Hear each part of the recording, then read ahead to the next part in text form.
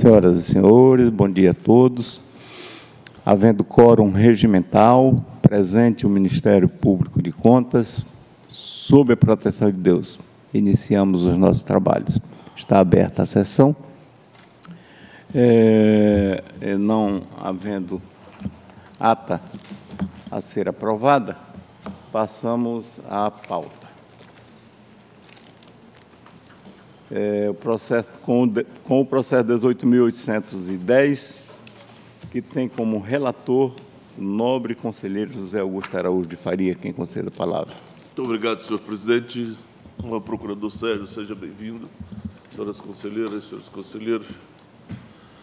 Trata os autos do processo de tomada de contas da Prefeitura Municipal de Madureira, referente a 2013, de responsabilidade do senhor José Raimundo de Souza da Silva, prefeito à época, instaurado por esta Corte em virtude do descumprimento da Resolução TCA 62 de 2008, conforme despacho da diretoria da DAFA, folhas 3 versos.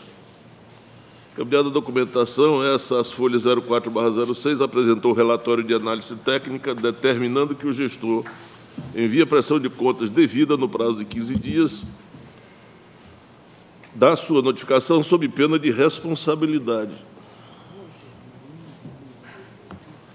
Caminhado do processo, o Ministério Público de Contas, esse por ser o procurador Mário Sérgio Nery de Oliveira, se pronunciou no feito às folhas 10 barra 11, opinando nestas condições e sem prejuízo da conclusão desta tomada de contas em relação aos apontamentos de gestão cobrados pela resolução supramencionada, sugere ainda, à luz do parágrafo 4 do artigo 23 da Constituição Estadual de 89, a comunicação da falta à Augusta Câmara de Vereadores da Madureira para as providências que entender cabíveis, inclusive, se for o caso, representar o governo do Estado pela intervenção prevista no inciso 2 do artigo 35 da Constituição Federal de 88, combinado com o inciso 2 do artigo 26 da aludida Constituição do Estado do Acre, na forma do entendimento cautelar do Supremo Tribunal Federal, a DI 614, Maranhão, vazado nos seguintes termos, dois pontos, aspas, ação direta de inconstitucionalidade, artigos 17.3 e 172.6, da Constituição do Estado do Maranhão, que prevê a decretação de intervenção de Estado e município proposta pelo Tribunal de Contas, alegada ofensa aos artigos 34.7 D, 70, 11 e 75, todos da Constituição Federal. Quatro, por um lapso, o feito foi incluído em pauta, retirei-o para melhor instruí-lo e mandei citar o senhor José Raimundo de Souza da Silva, com a qual foram feitos os anexos 303 ao 10, além dos documentos folhas 44/52, juntados ao volume 01 pela Secretaria das Seções, os quais foram encaminhados à DAF e essa em relatório de análise técnica complementar 2, de folha 53/74, concluiu a quanto à tomada de contas da prefeitura, verificou-se no tocante à omissão a documentação superveniente possui requisito de admissibilidade com ressalva para a ausência do ato de nomeação do responsável pela contabilidade da Prefeitura. E B, quanto à conformidade, verificou-se que a execução das despesas e receita demonstradas por meio do balanço geral consolidado do município e demais documentação incerta, documentações incertas aos autos não guardam conformidade com a sua totalidade com as legislações de regência. Citados novamente, o gestor senhor José Raimundo de Souza da Silva, prefeito à época, a folha 100, e a senhora Raimunda da Luz Melo, da Rocha Contabilista, a folha 99, após tecer vários comentários registrados, a folha 104 a 105, solicitou a dilação de prazo por mais 45 dias, tendo sido concedido apenas 15, como ano regimento, tempo esse concedido também à senhora Raimunda da Luz Melo da Rocha Contadora. Foi acostado os autos documentos procuratórios do senhor José Raimundo de Souza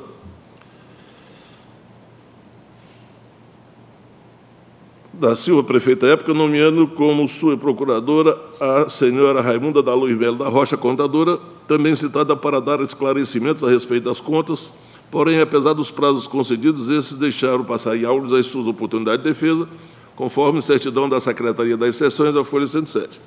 Caminhado novamente a DAF, foi elaborado o relatório técnico conclusivo de Folha 112, 116, que concluiu pela irregularidade das contas por considerá-la com diversas irregularidades e infringências às normas de regência. Caminhado feito ao Ministério Público de Contas, Esse por ser o procurador Mário Sérgio Nery Oliveira se pronunciou no feito das folhas 120 121 dos autos. É o relatório, excelência. Com a palavra o Ministério Público de Contas para o seu pronunciamento. Obrigado, senhor presidente, senhores conselheiros, senhoras conselheiras. É, Trata-se, em verdade, de prestação de contas intempestiva e incompleta do prefeito de Sena Madureira, senhor José Raimundo de Souza da Silva, referente a 2013, envolvendo seus aspectos de governo e gestão, cujos resultados, depois de duas diligências de acesso à documentação, evidenciaram inicialmente as seguintes ocorrências. 1. Um, ausência do ato de nomeação do responsável pela contabilidade. 2. Abertura de créditos adicionais no montante de R$ 10.727.091,36 com fontes de recursos fictícias. 3. Pagamento de honorários advocatícios ao Procurador-Geral do Município no valor de R$ 3.700. 4. Inconsistência dos balanços financeiro e patrimonial. 5. Não confirmação do resultado patrimonial em razão da divergência apontada entre as transferências concedidas e recebidas. 6. Dívida flutuante constante no anexo 17, no montante de R$ 19.751.090,45, desconforme com os dados do passivo circulante do balanço patrimonial. 7. A dívida fundada no anexo 16, de R$ 7.385.529,00 e 68 centavos, incondizente com aquela registrada no passivo não circulante do balanço patrimonial, no valor de R$ 7.413, ou melhor, R$ 7.413.205. É, oito, excesso de gasto com o pessoal do município, da ordem de 81,20% da receita corrente líquida. Nove, excesso de despesas com o pessoal do Poder Executivo, de 78,97% da receita corrente líquida, ausência do anexo de metas fiscais na LDO, prejudicando a análise dos demonstrativos do resultado nominal e resultado primário. 11. Ausência de operacionalização do sistema de controle interno. 12. Contratação de servidores para realização de atividades finalísticas e acessórias do município sem concurso público. É, depois de nova avaliação, restaram mantidas diversas irregularidades de monta e falhas contábeis, inclusive o apontamento de dano por não comprovação de saldo financeiro registrado. Citado o responsável e a contadora, a senhora Raimunda Luz Melo da Rocha, não houve resposta de mérito. Nessas condições e com base nas letras A, B e C do artigo 51, inciso 3 né, da Lei Complementar Estadual número 38/93, Sugerimos a emissão de parecer prévio no sentido da desaprovação destas contas de governo e o julgamento da parte de gestão aqui enfocada na forma das proposições e encaminhamentos da segunda inspetoria. É o pronunciamento. Com a palavra o nobre conselheiro relator para proferir o seu voto. Excelência, excelências, pelo visto, é após as formalidades de estilo pelo arquivamento do feito, excelência. É o meu voto. Em votação, conselheiro Antônio Jorge Malheiro. Excelência, eu acompanho na íntegra o voto do nobre relator, mas é, é, na instrução a DAFA aponta a folha 62 que há também um valor a devolver que depois ela não leva para a conclusão e induz o voto do jeito que foi colocado. Mas o saldo na prestação de contas de 2012 era de 2 milhões 353 e o saldo do início desta prestação de contas de 2013 é de apenas 1 milhão 798 e aí somem mais 554. Então eu acrescento no valor a devolver esta diferença de saldos iniciais, então passaria o valor a devolver para 4 milhões 680 mil 480 reais e 50 Excelência, questão de, de ordenamento, obrigado pela memorização. Está lá, está lá, é só Muito não obrigado. entrou na conclusão. É, perfeito. Acompanhe o voto. Perfeitamente. Conselheiro Antônio Compovam. Acompanho o voto também, senhor Conselheiro Ronald Polanco. Acompanho o voto. Conselheiro do Cine Benício. Conselheira Malu Maria. Com relator, senhor presidente.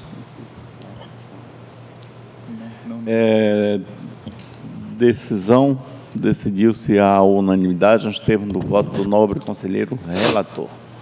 Passamos ao processo 20.026. Continua como relator o nobre conselheiro é, José Augusto Araújo de Faria, quem concede a palavra. Muito obrigado, senhor presidente, nobre procurador, senhoras conselheiras e senhores conselheiros.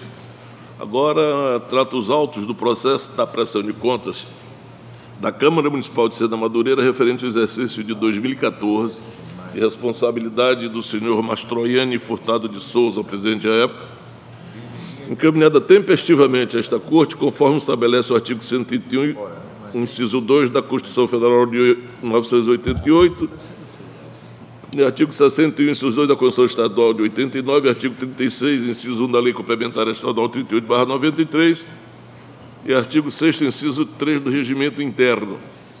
Caminhada da documentação ADAF, essa, as folhas 11 37, apresentou o relatório de análise técnica, concluindo pela irregularidade das referidas contas em face de dois pontos. A.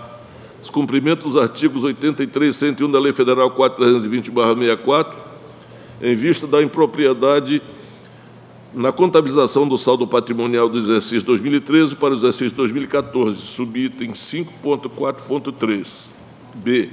Descumprimento da resolução número 87/2013 pelo não envio do anexo 18 do Manual de Referência primeira edição, que trata das fichas financeiras dos edis, conforme item 7.6. C. Descumprimento do artigo 37 da Constituição Federal de 88 e a Lei Federal 8666-93, contratação de empresas sem procedimento licitatório, conforme item 8 do relatório técnico. D. Descumprimento da Resolução 87 de 2013 pelo não envio do anexo 8 do Manual de Referência, primeira edição, com todos os elementos exigidos, conforme item 12 do relatório técnico. E descumprimento dos artigos 31 e 74 da Constituição Federal de 88 e 23 da Constituição do Estado, combinado com a Resolução TCA 076-2012, pela não criação no controle interno do Poder Legislativo Municipal, item 13 do relatório técnico, e F, descumprimento do artigo 37 da Constituição Federal de 88, em razão da concessão de verbas indenizatórias com caráter de despesa de costeio no valor de R$ 261.483,48, conforme item 14 deste relatório. Citado o senhor Mastroianni Furtado de Souza, presidente, à época, as folhas 42 43, esse, as folhas 45 59, apresentou defesa de forma tempestiva, conforme Secretaria das Sessões da Folha 69. Caminhada da DAF, essa apresentou relatório conclusivo de análise técnica de folha 71 80, manifestando-se pelo não provimento das impropriedades, tendo em vista que a defesa não apresentou justificativas concretas e suficientes para remediar a situação inicialmente verificada, em sua totalidade opina pela irregularidade das contas. Em tempo, mandei citar também por meio eletrônico o senhor Ivaldo Silva do Amaral, responsável pela contabilidade da Câmara à época, foi feita as folhas 84 86, tendo esse, tendo deixado passar em Albes a sua oportunidade de defesa, conforme certidão da Secretaria das Sessões da folha 87 dos autos. Caminhado feito ao Ministério Público de Contas, o parquê se pronunciou por seu ministro procurador Joãozinho de Melo Neto, as folhas 89 92. É o relatório, excelência. Com a palavra o Ministério Público de Contas para o seu parecer. Obrigado, senhor presidente. É, a prestação de contas em referência de responsabilidade do senhor Mastroianni Furtado de Souza, presidente da Câmara Municipal de Sena Madureira, no exercício de 2014, foi encaminhada tempestivamente a esta Corte de Contas em 27 de março de 2015. Em relatório técnico preliminar, a área técnica deste tribunal pugnou pela responsabilização do senhor Mastroianni e do contador, senhor Orivaldo Silva do Amaral, é, contudo, somente o presidente da Câmara foi citado, apresentando defesa tempestivamente através de advogado regularmente constituído. Bem analisada pela segunda inspetoria, através do relatório técnico complementar de folhas 71 a 80, as irregularidades inicialmente apuradas foram ratificadas conforme segue. 1. Um, é, divergência no valor do saldo patrimonial quando comparadas as informações do balanço patrimonial de 2013 e 2014, infringindo os artigos 83 e 101 da Lei nº 4.320-64. 2. Descumprimento da resolução número 87/2013 em razão da ausência do envio do anexo 18 e da deficiência das informações no anexo 13, ambos integrantes do Manual de Referência, primeira edição. 3 Contratação das empresas Gonçalves e Freitas Limitada, Intec e Monalisa VM de Araújo, sem realização de procedimento licitatório e fora das hipóteses de contratação direta, em infringência ao artigo 37, inciso 21 da Constituição Federal de 88, combinado com o artigo 2 da Lei nº 8666-93. 4. Pagamento irregular de verba indenizatória aos edis no montante de R$ 261.483,48, com habitualidade e com características claras de despesas de custeio. E 5 ausência de criação do sistema de controle interno, em infringência aos artigos 31 e 74 da Constituição Federal e artigo 23 da Constituição Estadual, combinado com a resolução TCE número 76/2012. O processo chegou ao SMPC no, é, em 8 de maio de 2017. Compulsando os autos, no que concerne aos subsídios dos vereadores, restou evidenciada a legalidade nos pagamentos efetuados no exercício, inclusive quanto ao limite legal previsto no artigo 29, inciso 7 da Constituição Federal, remanescendo, contudo, a clara negligência do gestor em razão do não envio da documentação respectiva, conforme previsto na Resolução TCE número 87/2013. Relativamente às contratações sem procedimento licitatório, o responsável não logrou êxito em comprovar os requisitos legais ensejadores das alegadas dispensas ou inexigibilidades apuradas e que violaram dispositivos constitucionais e legais pertinentes à matéria. Quanto à irregularidade atinente às verbas indenizatórias pagas aos edis, insta observar que o tema já foi abordado em pronunciamento da lavra deste procurador nos autos da prestação de contas da origem do exercício de 2013, quando, na oportunidade, verificou-se que a Lei Municipal número 332/2012, em seu artigo 3 inciso 2, traz a previsão acerca da possibilidade de ressarcimento das despesas com combustíveis e lubrificantes até o limite mensal, que é de 5 mil reais, na forma que vier a ser estabelecida por meio de resolução. Todavia, também ficou provado que tal resolução jamais foi editada pela origem, propiciando os abusos reiteradamente verificados nas despesas da espécie, a exemplo daquelas atribuídas ao vereador Gelen Diniz Andrade, cujo montante despendido exclusivamente a esse título no exercício de 2014 importou em R$ 32.328,36. Note-se que esta Corte de Contas já fixou os parâmetros legais para a utilização das verbas indenizatórias, conforme decisão é, objeto do acórdão TCE número 7.426/2011. Assim, verifica-se que a habitualidade dos gastos se dá em relação ao elemento específico contratado, comprado, e não ao fato de mensalmente se despender valores com tal verba. Desse modo, conforme análise técnica, os gastos com a verba indenizatória com caráter de, de habitualidade e de custeio concentram-se nas despesas com combustíveis e materiais de escritório e consumo, os quais são passíveis de ressarcimento ao erário público. Ante todo exposto e considerando a regular citação do senhor Orivaldo Silva do Amaral, que, no entanto, não, não aproveitou a oportunidade, este MPC opina: 1. Um, pelo julgamento da presente prestação de contas como irregular, com base no artigo 51, inciso 3, alíneas B e C da Lei Complementar Estadual número 38/93.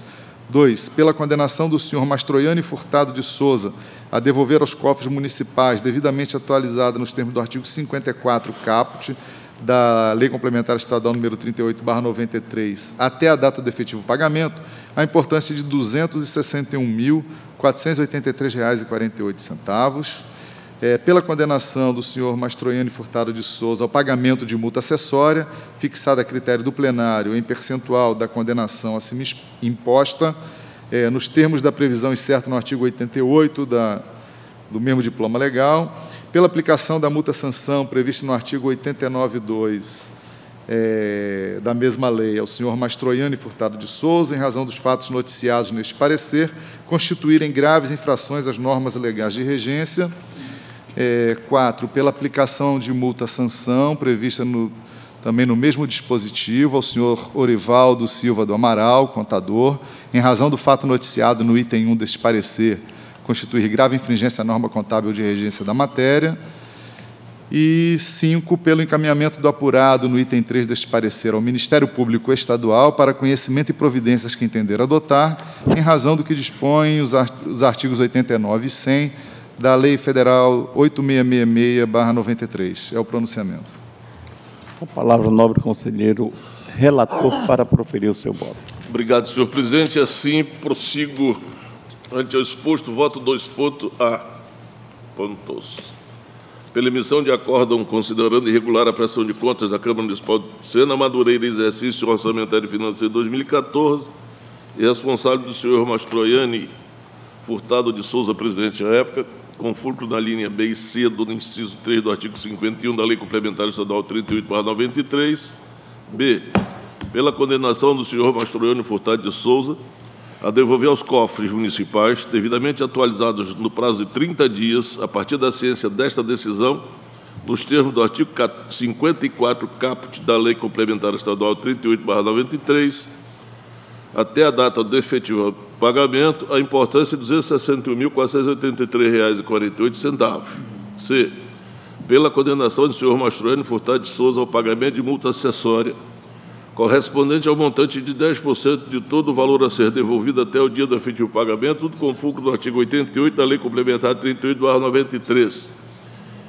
D. Pela aplicação de multa sanção, o senhor Mastroianni Furtado de Souza, presidente de época, no valor de R$ 7.140, com fulcro no artigo 89, inciso 2 da Lei Complementar Estadual 38, 93, a razão dos fatos noticiados no parecer do parquê constituírem graves infrações às normas legais de regência. E pela aplicação de multa sanção ao senhor Orivaldo da Silva Amaral, contador, no valor de R$ 3.570, conforme do artigo 89, inciso 2 da Lei Complementar Estadual 38/93, em razão da divergência no valor do saldo patrimonial, quando comparado às informações do balanço patrimonial de 2013 e 2014, pois o balanço eh, patrimonial de 2013 e o saldo patrimonial de R$ 107.688,09 e no ano de 2014, o saldo do exercício anterior registrado é de R$ 113.806,72.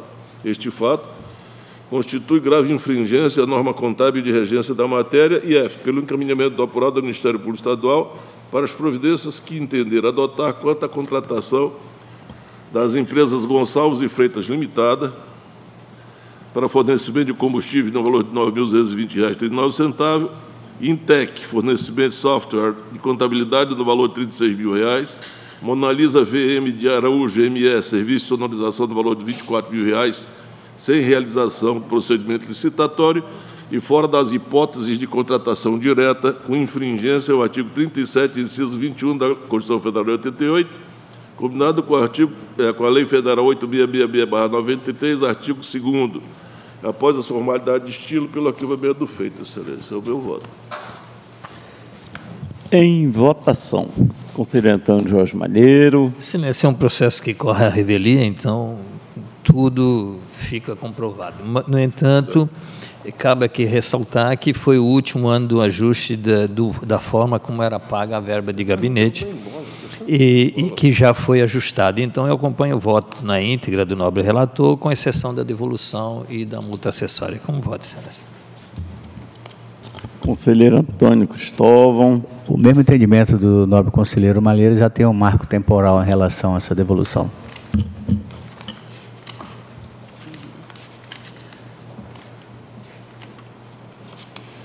Conselheiro incorpora sobre a devolução? Que... Conselheiro é, é, Ronald Polanco. Eu acompanho o entendimento do conselheiro Malheiro. Conselheira do Cine Benício. Ah, só no item relativo às, às indenizações, né? E no mais, o restante é pela devolução. Também assim, é, senhor presidente, acompanho o voto do conselheiro relator com esse? Devolução é, e, e, a multa acessória. É a devolução. Exceto, né? Conselheira Ana Lu Maria. É o entendimento do conselheiro Maria. Decisão decidiu-se a unanimidade nos termos do voto do conselheiro relator, é, divergindo os demais conselheiros quanto à devolução e à multa acessória. É isso, né? Ok. Agora passamos. Bom, eu quero é, registrar a presença do doutor Thales Vinícius, mais uma vez, aos nossos trabalhos. Seja bem-vindo, é, nobre doutor. Passamos ao processo 23.413 tem como relator o nobre conselheiro Antônio Jorge Malheira, quem concede a palavra. Obrigado, Excelência. Este é mais um, um processo onde houve um, um, certo excesso de zelo e há um recurso do, do nobre secretário de Fazenda, senhor Joaquim Manuel Mansur Mancedo, é, é, sobre o acórdão 725 da primeira, da primeira Câmara. No entanto, aquele acórdão não trazia nenhuma punição, ele determinava apenas que se observasse obrigações nas próximas edições e remetia cópia deste acordo à DAF para acompanhamento.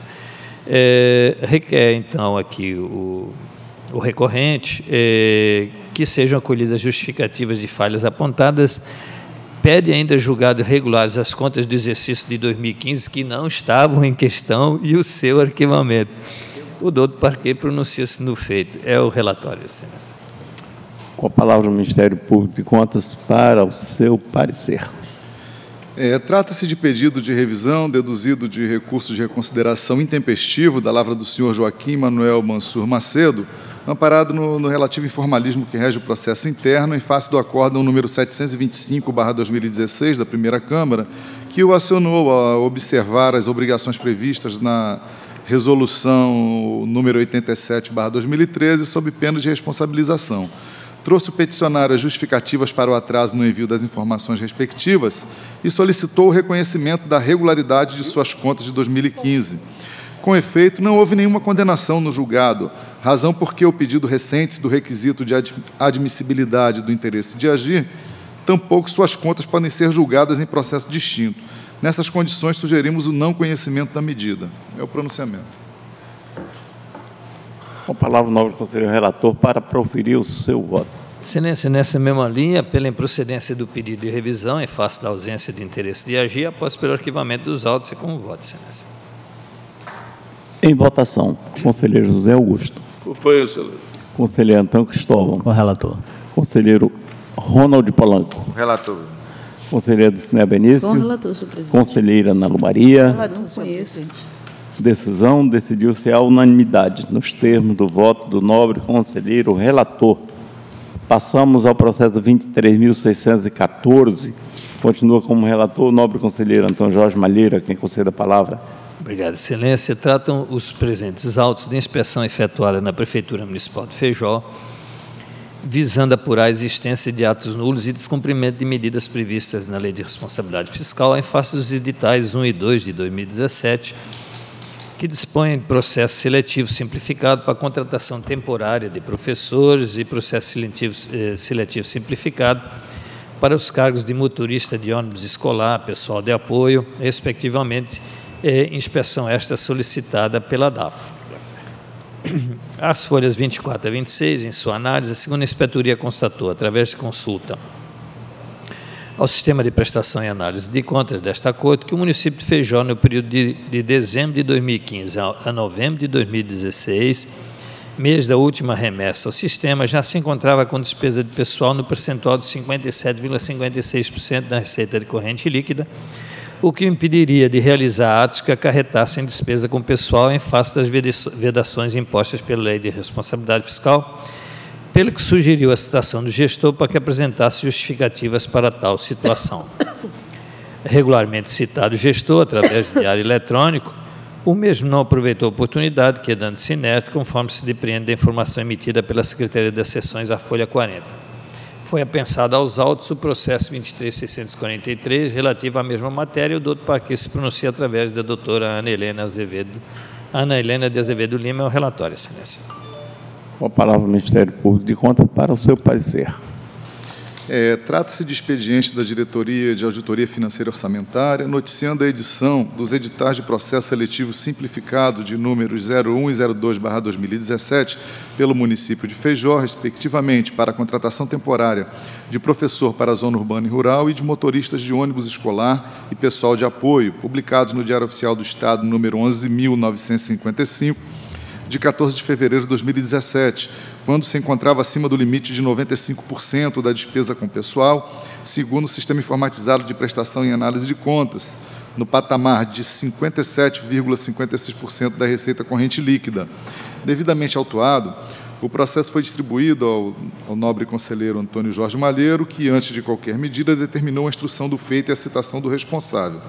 Encontra-se apenso a este o processo número 23.643-2017, que trata da verificação de atos nulos de pessoal em face do edital número 004/2017 para a contratação de pessoal também do município de Feijó, publicado no Diário Oficial do Estado número 12004 de 2 de março de 2017, que conforme a instrução se refere à divulgação dos locais e data da entrevista para o pessoal de apoio de que trata o edital número 02/2017 em análise neste feito, pelo que sugeriu seu apensamento para trâmite conjunto.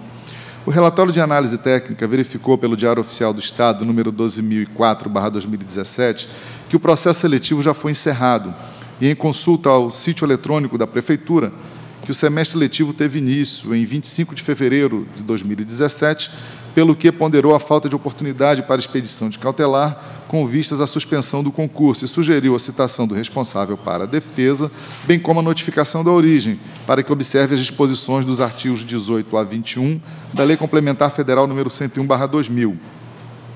Após essa manifestação, a DAF informou à nobre relatora a convocação dos servidores pela Prefeitura de Feijó através do edital número 011/2017, publicado no Diário Oficial do Estado número 12016 de 21 de março desse ano, infringindo a Lei de Responsabilidade Fiscal, pelo que sugeriu a expedição de medida cautelar para obstar as referidas admissões.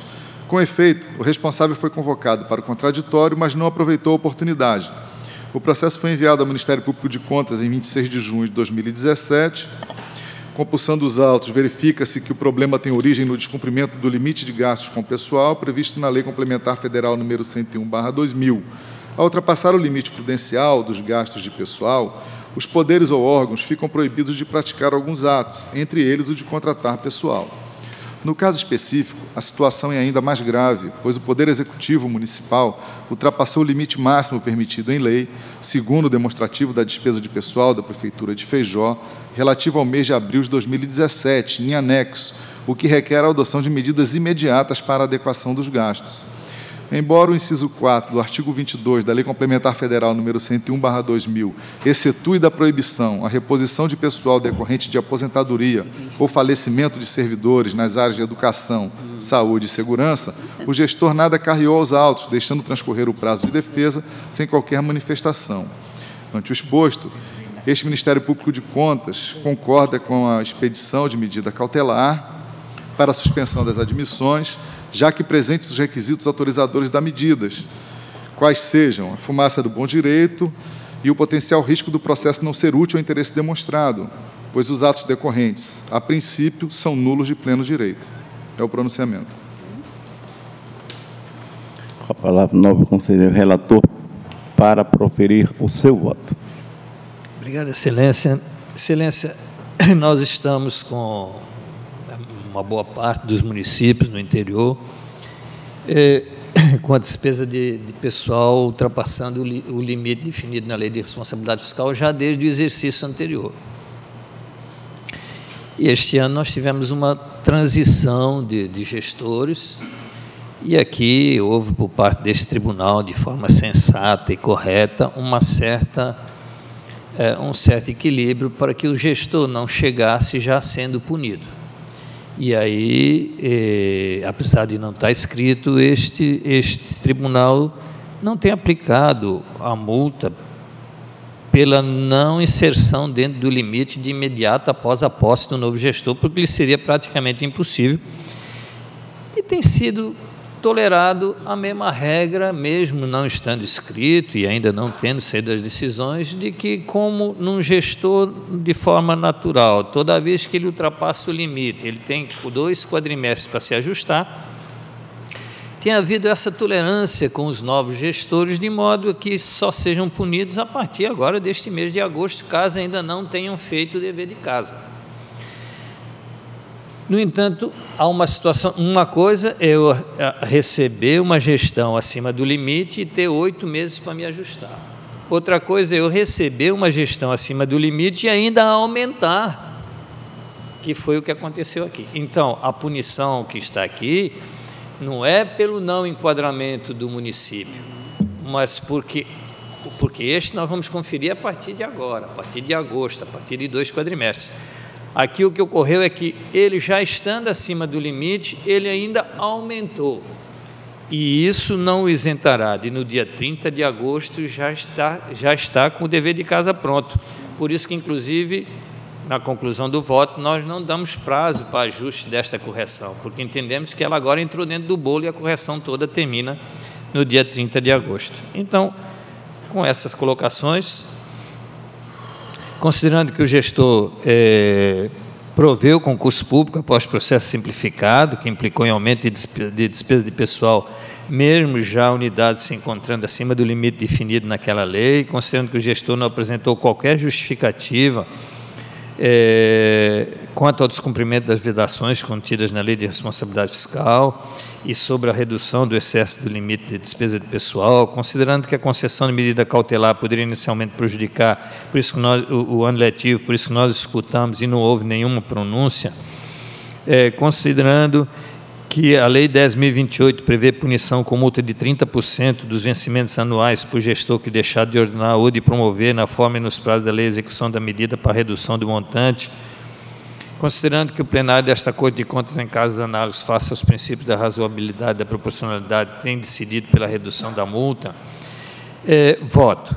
Em face das irregularidades apuradas, o ato já é concreto e agora vai ter que entrar dentro do ajuste que se conclui neste final de mês pela determinação ao gestor para a recondução imediata dos valores da despesa de pessoal ao limite da lei de responsabilidade fiscal, caso ainda persista tal desatino, devendo anular, se necessário, os atos praticados no exercício de 2016 e 17 relativos à despesa de pessoal praticados em desacordo com a lei de responsabilidade fiscal e suas vedações contidas no parágrafo único do artigo 22, pela aplicação de multa ao senhor Keffer Roberto Cavalcante, prefeito do município de Feijó, no valor de R$ 14.280, nos termos do inciso 2 do artigo 89 da Lei Complementar 38, combinado com o artigo 5 inciso 4, parágrafo 1 da Lei 10.028, em face das ações que aumentaram a despesa de pessoal antes da adoção de medidas de redução eh, do excesso do limite da despesa com pessoal, não tendo assim respeitado as vedações constantes da Lei de Responsabilidade Fiscal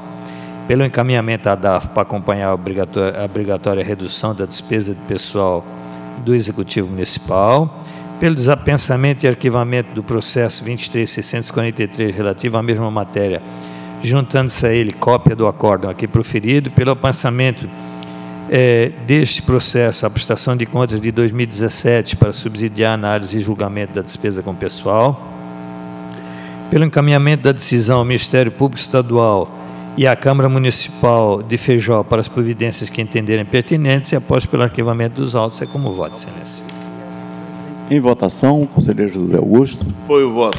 Conselheiro Antônio Cristóvão. É, acompanho o voto, mas eu encaminhava ainda essa decisão. É que já vai para o próprio prefeito também, né?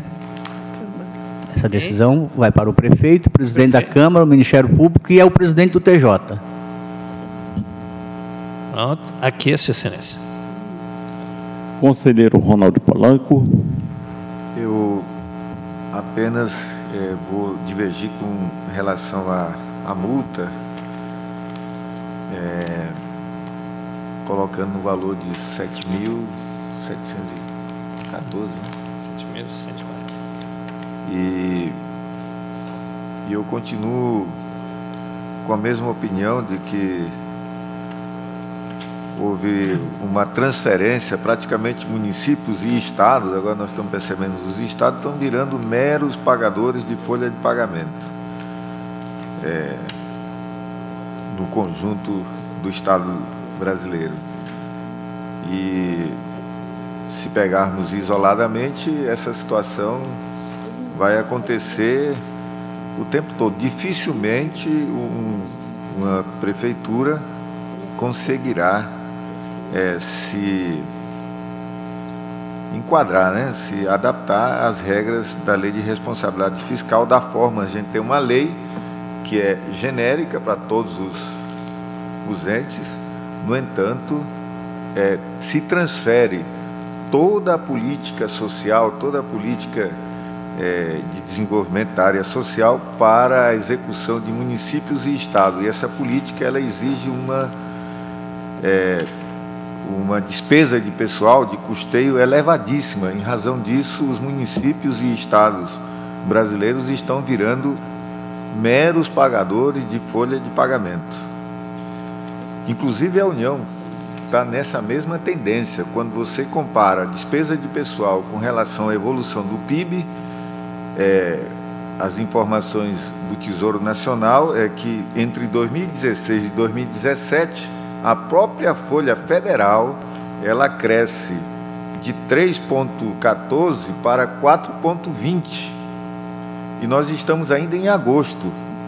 É claro que o PIB cai, né? Cai, tem uma, tem uma queda comparando entre 2016 e 2017 agora. E eu, eu fico muito preocupado com essa situação da gente tentar é, aplicar as regras é, do jogo para a execução da, da, da, política social brasileira é, de forma é, direta. E por isso eu, eu a, diminuo a multa e eu continuo insistindo de que nós deveremos sentar e fazer uma avaliação sobre o conjunto é, da, do regramento nacional que, sejam, que estão sendo aplicados aos municípios. Essa é a minha avaliação, por isso que eu, eu diminuo a multa e, e continuo insistindo nessa, nesse olhar diferenciado que está acontecendo na esfera nacional com os municípios. Conselheira do Cine Benício. Com o relator, senhor presidente. Conselheira Ana Lu Maria. Senhor presidente, está é, tá certíssima a avaliação do conselheiro Polanco, certíssima. O problema é que a gente não vê um aceno da administração no sentido de fazer um levantamento se a gente precisa realmente é, é, dessa quantidade de gente que nós temos. E pelo que a gente vê, é só aumentando folha. Esse é o grande problema. O problema maior é esse: é que a gente está no fundo do poço mas o fundo do poço é só resolvendo colocando mais gente. Esse é o grande problema. A encruzilhada é essa. A encruzilhada é essa.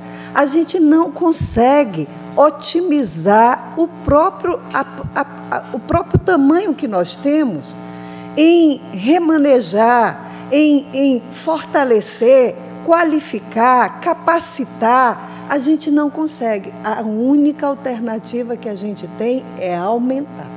A gente aumenta, a, a, a, gente coloca mais gente, a gente aumenta os cargos comissionados, gente, é só essa alternativa. A alternativa, é, é, a gente poderia conversar, tem que sentar mesmo. É, é perversa essa ideia de que tem que fazer UPA, aí a, a estrutura é dada pelo governo federal, mas a parte de pessoal é toda da prefeitura, é toda. E, aí como é que fica essa questão?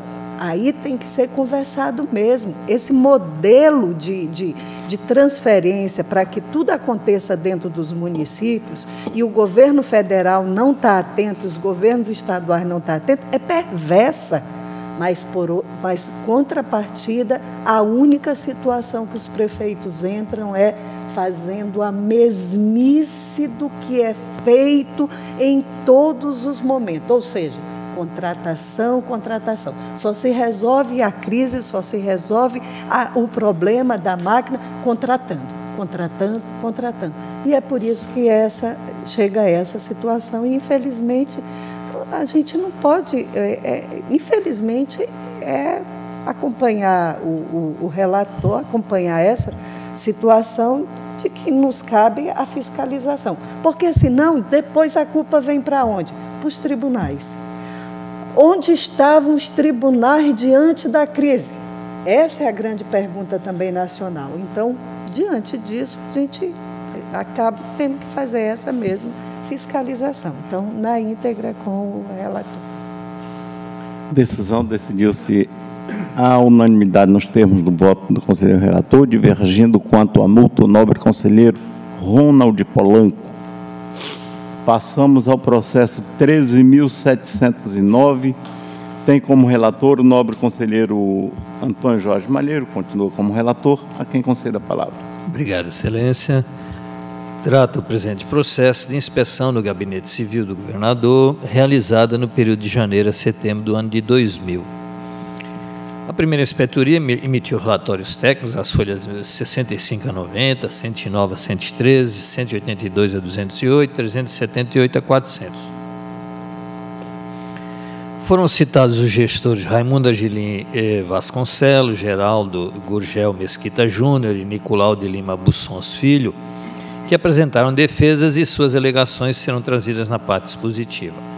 A primeira inspetoria concluiu em seu relatório as folhas 378 a 400 pela proposta de citação do senhor Geraldo Gurgel Mesquita Júnior para se manifestar acerca do novo fato apurado relativo ao, a um empenho no valor de R$ 1.400 referente a fretamento de ônibus sem justificativa legal.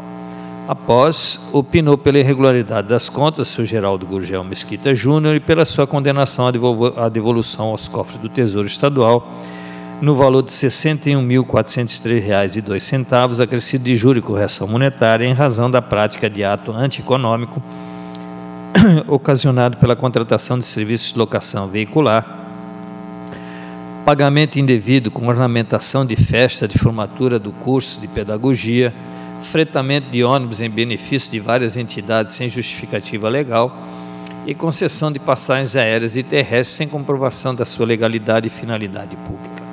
Pela condenação do senhor Raimundo Angelim Vasconcelos à devolução aos cofres do Tesouro Estadual do valor de R$ 89.716,14 acrescidos de juros de mora e correção monetária em razão da falta de fiscalização e exigência de prestação de contas e suprimento de fundos concedidos através do orçamento do Gabinete Civil do Governador, pagamentos indevidos com hospedagem, fornecimento de salgadinhos para diversas festas de formatura e a concessão de passagens aéreas terrestres sem comprovação da sua legalidade e finalidade pública. O doutor Parque, através do ilustre procuradora doutora Ana Helena de Azevedo Lima, manifestou-se as folhas 101, 205 a 206, 407 a 410. É o relatório, Excelência.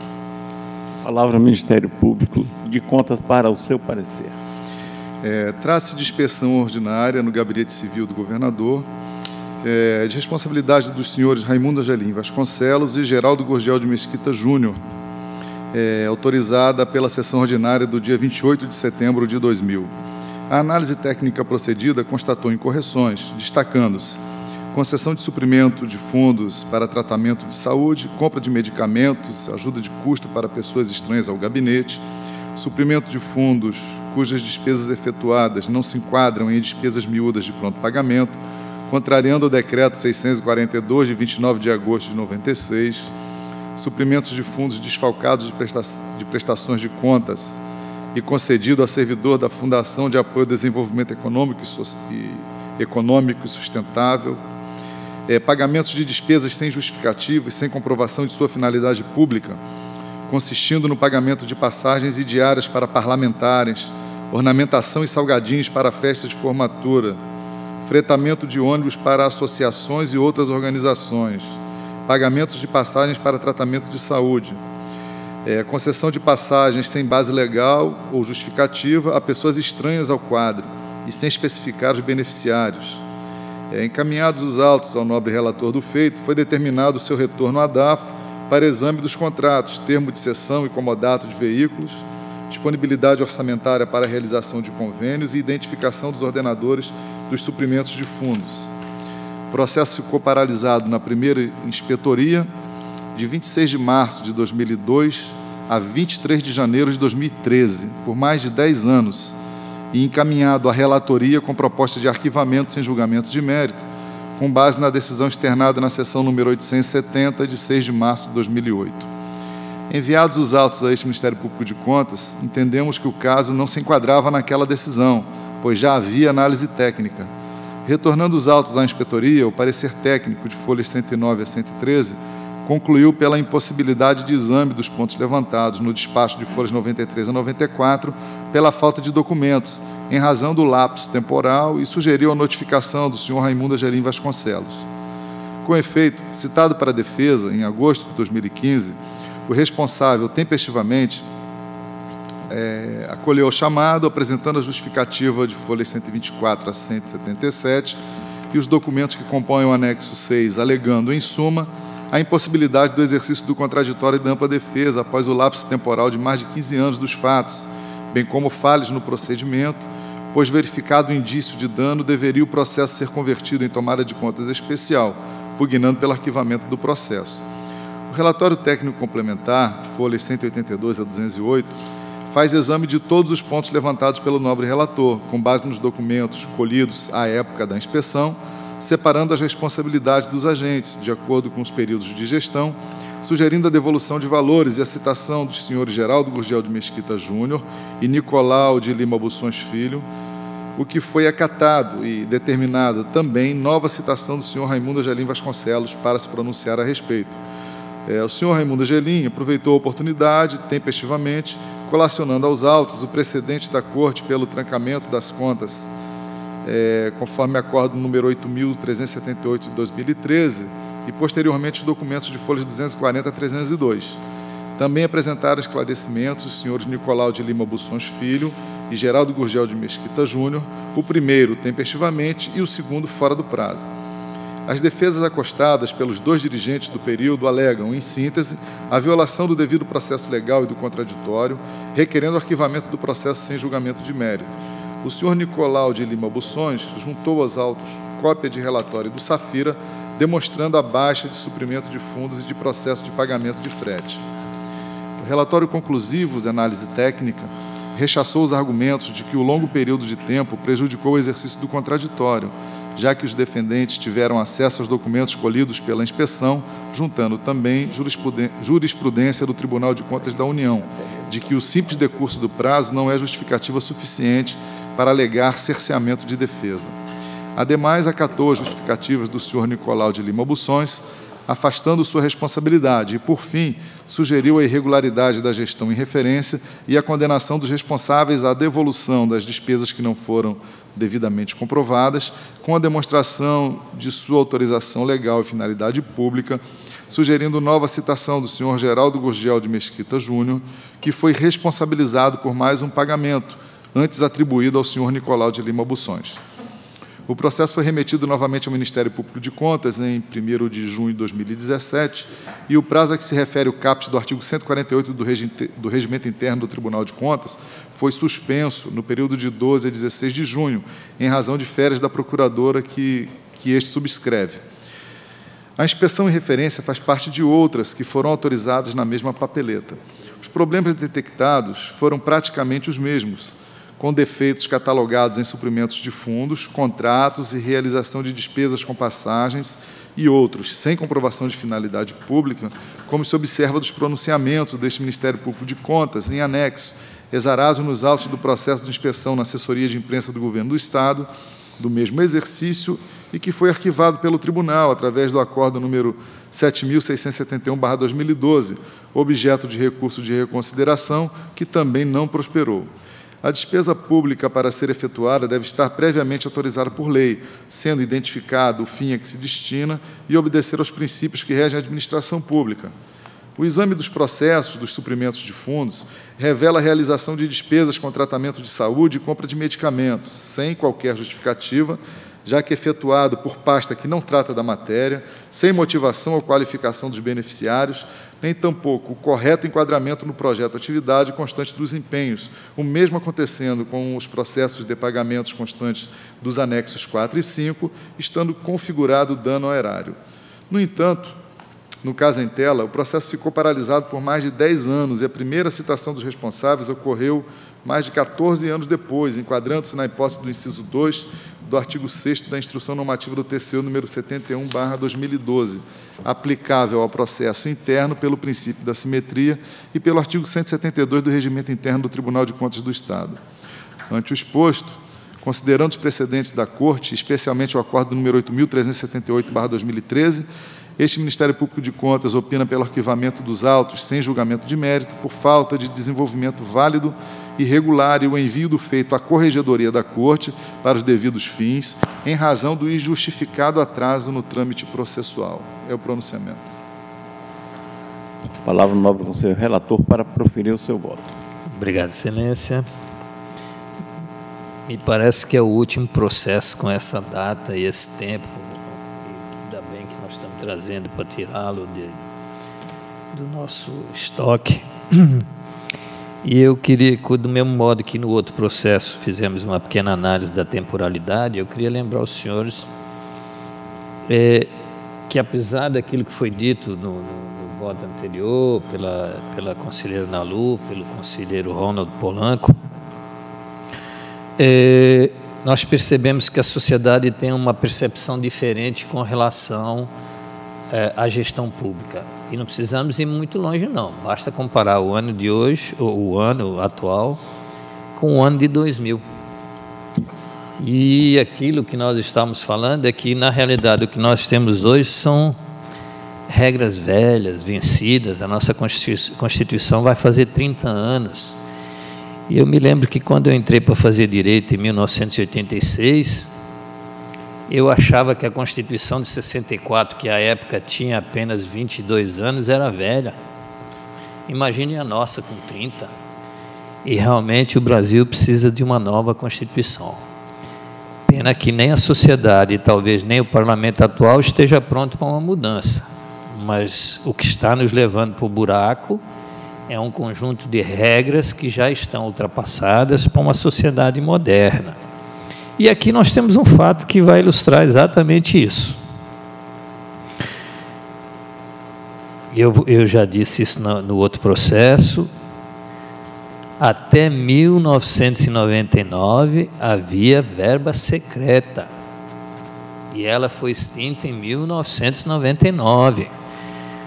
Mas quando eu extingo a verba secreta, eu não extingo os atos e os hábitos que existiam. E quem for mais antigo, os meninos são todos novos, mas quem for mais antigo um pouquinho, vai lembrar que naquele tempo as pessoas entravam no palácio, que hoje é um museu, e davam de cara com o governador. E quando chegava lá, o pessoal do Colégio Acriano, quem não lembra do professor Raimundo Louro, excelente diretor, mas vocês acham que ele não ia lá e dizia assim: olha, preciso tanto porque eu quero fazer a festa lá. E era dado dinheiro. Ele tinha tanto, e era uma pessoa corretíssima, corretíssima.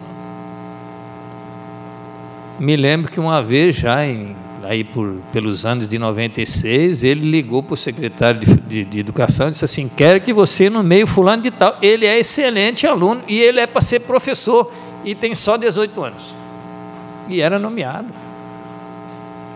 Então nós temos que analisar estas contas com a mentalidade da época tivemos um avanço com a extensão da verba secreta que permitia estes pagamentos, que era uma verba que ficava à disposição do governador exatamente para ele ajudar as pessoas, porque naquele tempo era assim, éramos mais patriarcais do que hoje. Havia uma inserção direta do governo na sociedade.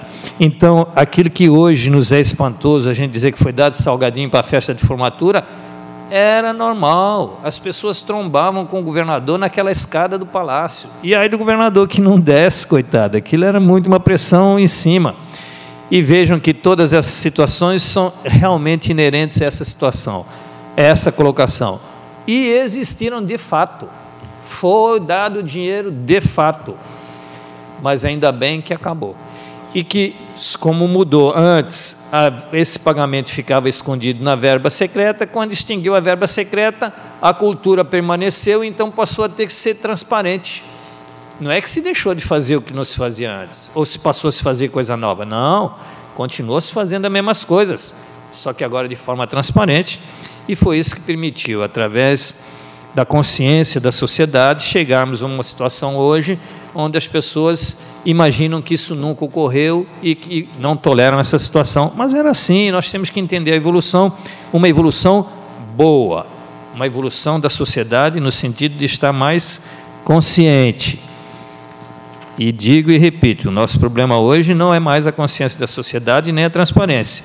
É um conjunto de, de regras velhas. Nossa Constituição está antiga, está velha e permanece ainda um pouco patriarcal nos moldes que era a época em que ela foi feita.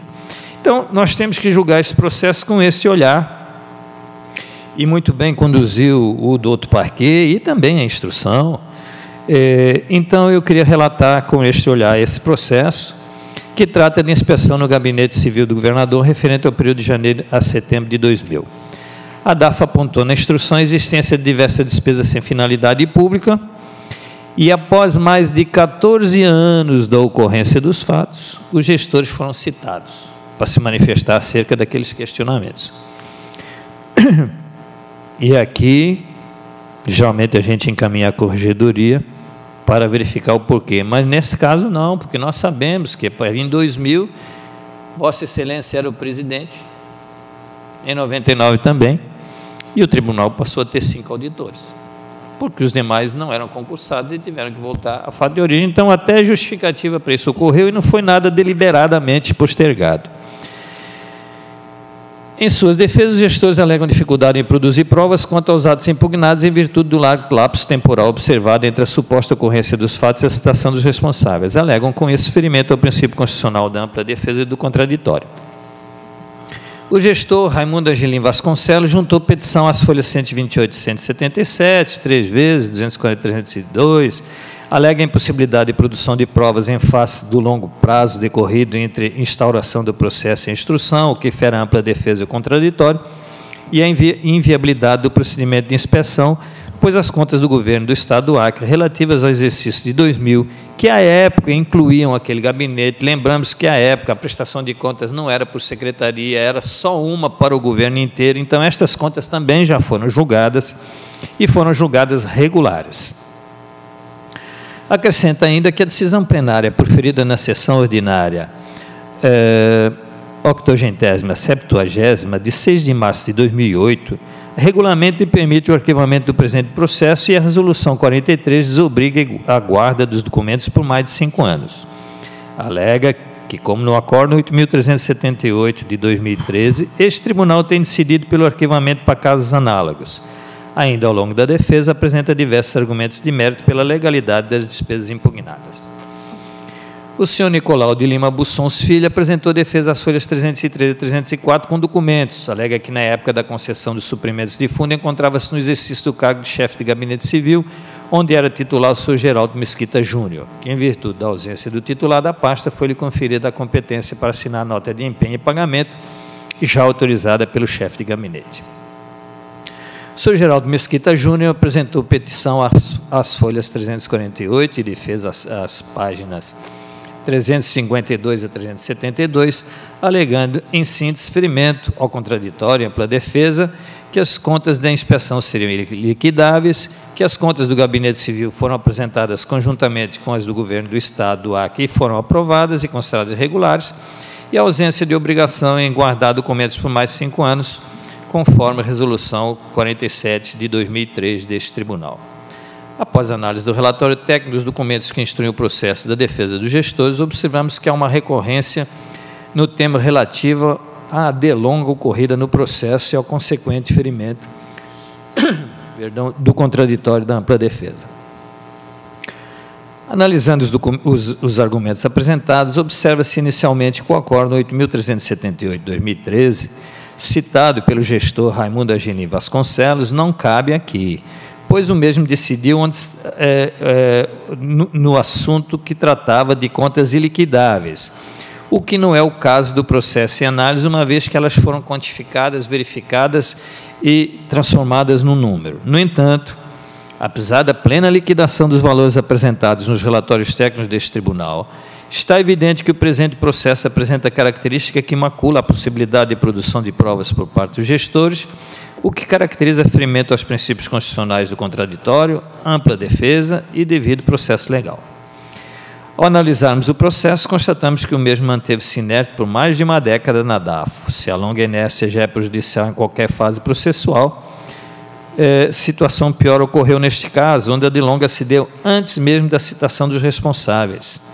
Assim, o que se verifica é que não apenas a instrução do processo foi demasiadamente tardia, tendo demorado 17 anos, mas a instauração da própria relação processual, que, como vemos, demorou mais de 14 anos para ocorrer. Veja-se que no presente caso não trata de processo de prestação de contas, mas de processo de inspeção. Onde, diferentemente do primeiro, o gestor tem a obrigação de, desde o início, apresentar os dados e documentos necessários à boa e correta apuração dos casos, na prestação de contas. No caso de inspeção, esta ordem se inverte, passando o gestor a ter tais obrigações a partir da sua citação, que é quando se configura e se instaura a relação processual. Assim, em caso de inspeção, por exemplo, não há que se falar em relação processual antes da citação. Vemos que a instauração da inspeção se deu em 11 de outubro de 2000 e a citação dos gestores ocorreu é, em 5 de agosto de 2015, para o senhor Raimundo Angelim Vasconcelos, em 7 de julho de 2016, para o senhor Nicolau de Lima Bussons Filho, e em 24 de agosto de 2016, para o senhor Geraldo Gurgel de Mesquita Júnior. É certo que diversos casos semelhantes foram observados nas diversas cortes de contas estaduais do país, da própria União, surgindo sempre a justa alegação de ferimento aos princípios constitucionais do contraditório da ampla defesa, prevista no artigo 5 é, inciso 78 da, da Constituição Federal, que diz que a todos no âmbito judicial e administrativo são assegurados a razoável duração do processo e os meios que garantam a celeridade de sua tramitação. Com isso, sempre houve a tentativa de normatizar o que seria um período de inércia processual suficientemente capaz de gerar agressão àqueles princípios. E isso fez o Tribunal de Contas da União, quando publicou a Instrução Normativa 71, que diz o seguinte: artigo 6. Salvo determinação em contrário do Tribunal de Contas da União, fica dispensada a instauração da tomada de contas especial nas seguintes hipóteses e aqui cabe observar que o, o Tribunal de Contas da União tem uma característica sui generis dele, que ele, após verificar a regularidade, ele faz um procedimento à parte, que é a tomada de contas, para quantificar. E aqui nós, geralmente, fazemos tudo junto. Nas seguintes hipóteses, inciso 2, houver transcorrido prazo superior a 10 anos entre a data provável de ocorrência do dano e a primeira notificação dos responsáveis pela autoridade administrativa competente. Então, o próprio TCU ele já arquiva quando passa 10 anos para você notificar, o que foi o nosso caso, que nós tivemos quase 14 anos para citação. Este tribunal, no mesmo sentido, publicou a ata da 80 70 sessão ordinária, que decidiu pelo arquivamento de todos os processos que não fossem prestações de contas ou tomada de contas e registros de aposentadoria abertos há mais de cinco anos e que não foram instruídos nem sofreram qualquer despacho. Já a Resolução 47 de 2003 estabelecia que os gestores deveriam manter sob sua guarda e responsabilidade pelo período de cinco anos os arquivos e documentos necessários à sua prestação de contas. No caso em análise, tendo em vista que os gestores só foram citados após 15 anos dos fatos impugnados, tendo o processo permanecido inerte na DAF por mais de uma década, independentemente dos motivos que levaram a isso estarem ligados à falta de estrutura organizacional desta corte naquele período, e lembro que antes até foi feito o concurso, mas depois, de qualquer forma, o tribunal teve que optar por fazer uma prioridade. E a prioridade naquela época é primeiro os mais recentes. Então, quanto mais velho, para trás ficou. E entendemos pelos fundamentos retromencionados que se trata de caso de arquivamento do processo, tendo em vista que o prosseguimento deste feriria os princípios constitucionais da ampla defesa contraditória devido ao processo legal. O presente processo ficou inerte na Secretaria das Sessões durante o período de 26 de março de 2002 a 23 de janeiro de 2013, motivado inicialmente pela falta de técnica e depois pelo período de reorganização que se fez necessário, é, pelo que deixo de pedir o encaminhamento à corregedoria desse tribunal para apuração dos fatos motivadores do ocorrido, pois nós já temos conhecimento disso, e assim, de todo, diante de todo exposto, voto pelo arquivamento do processo em face da preservação necessária do direito implícito no princípio constitucional do devido processo legal e ao justo respeito ao amplo direito de defesa. É como voto, excelência. Em votação, conselheiro José Augusto. Acompanho o relator. Conselheiro Antônio Cristóvão. Com o relator. Conselheiro Ronald Polanco. Com o relator. Conselheiro do Sine Benício. Eu, eu arguo minha suspeição para votar nesse feito. Perdão. Eu estou arguindo minha suspeição neste feito. Ok. Conselheira Nalu Maria. Com relator, senhor presidente. Ok. Decisão. Decidiu-se a unanimidade no segundo voto do conselheiro relator é, com a declaração de suspeição da nobre conselheira é, do Cine Benício. Passamos ao processo 13.709, perdão. É, 20. Perdão, 20.146. É, 20.146. Tem como relator o nobre conselheiro Antônio Jorge, perdão, Antônio Cristóvão Correia de Messias, a quem concedo a palavra.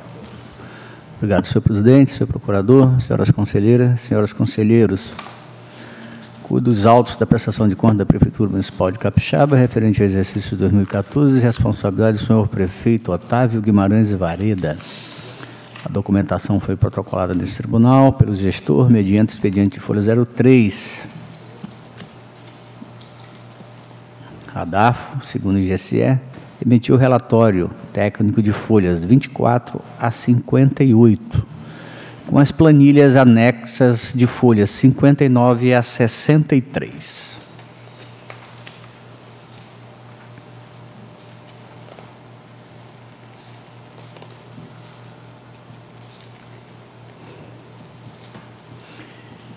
As folhas 55 a 57, no item 22, a equipe técnica relacionou as inconsistências apuradas na prestação de conta. Ao concluir o exame da matéria, a DAFO, segundo o GCE, propôs a irregularidade da prestação de contas e a responsabilização do prefeito municipal. As folhas 67 e 68, o prefeito municipal e o responsável pela elaboração dos demonstrativos contábeis foram regularmente citados. A folha 72, a Secretaria das Seções emitiu certidão informando que não foram apresentadas quaisquer documentos em cumprimento às citações expedidas. Por seu turno, o Ministério Público, junto a este tribunal, manifestou a folha 74 a 78, em pronunciamento da lado do município, senhor procurador João Isidro de Melo Neto. É o relatório, senhor presidente. Com a palavra do Ministério Público de Contas para o seu parecer. A prestação de contas em referência de responsabilidade do senhor Otávio Guimarães Vareda foi encaminhada intempestivamente a esta Corte de Contas no dia 6 de maio de 2015. É, bem analisada pela segunda inspetoria, restaram apuradas as seguintes irregularidades. 1. Um, a ausência de encaminhamento pela origem do plano plurianual é, da Lei de Diretrizes Orçamentárias e da Lei Orçamentária Anual, infringindo a determinação constante do artigo 2 parágrafo 1 inciso 1 da Resolução TCE número 83/2013, realização de suplementações orçamentárias no valor total de 2.655.000 reais sem autorização legislativa, divergência no valor total das alterações orçamentárias ocorridas no exercício, quando comparados os decretos correspondentes com o demonstrativo da despesa por classificação econômica consolidado, anexo 2, contabilização em duplicidade das despesas relacionadas à Câmara Municipal de Capixaba, que tornou inconsistentes o balanço orçamentário, o balanço financeiro, o resultado patrimonial do exercício e o superávit financeiro, é, déficit na execução orçamentária financeira, vez que a Prefeitura realizou despesas que superaram o total de, de suas disponibilidades financeiras em R$ 263.265,14. Inconsistência do balanço financeiro, que registra a diferença de R$ 1.139,60 no total de ingressos e dispêndios. Inconsistência das disponibilidades financeiras recebidas do exercício anterior, quando comparados o balanço financeiro de folhas 17 e 18 e o balanço financeiro do exercício 2013, folha 59 do processo 18.744-2014, que está folha 36. Inconsistência das disponibilidades financeiras transferidas para o exercício seguinte, quando comparados o balanço financeiro de folhas 17 e 18 e os extratos e conciliações bancárias respectivas gerando um saldo financeiro pendente de comprovação no valor de R$ 1.127.000, mil reais, R$ 1.127.430,08. É, ausência de encaminhamento pela origem do inventário atualizado de bens móveis e imóveis.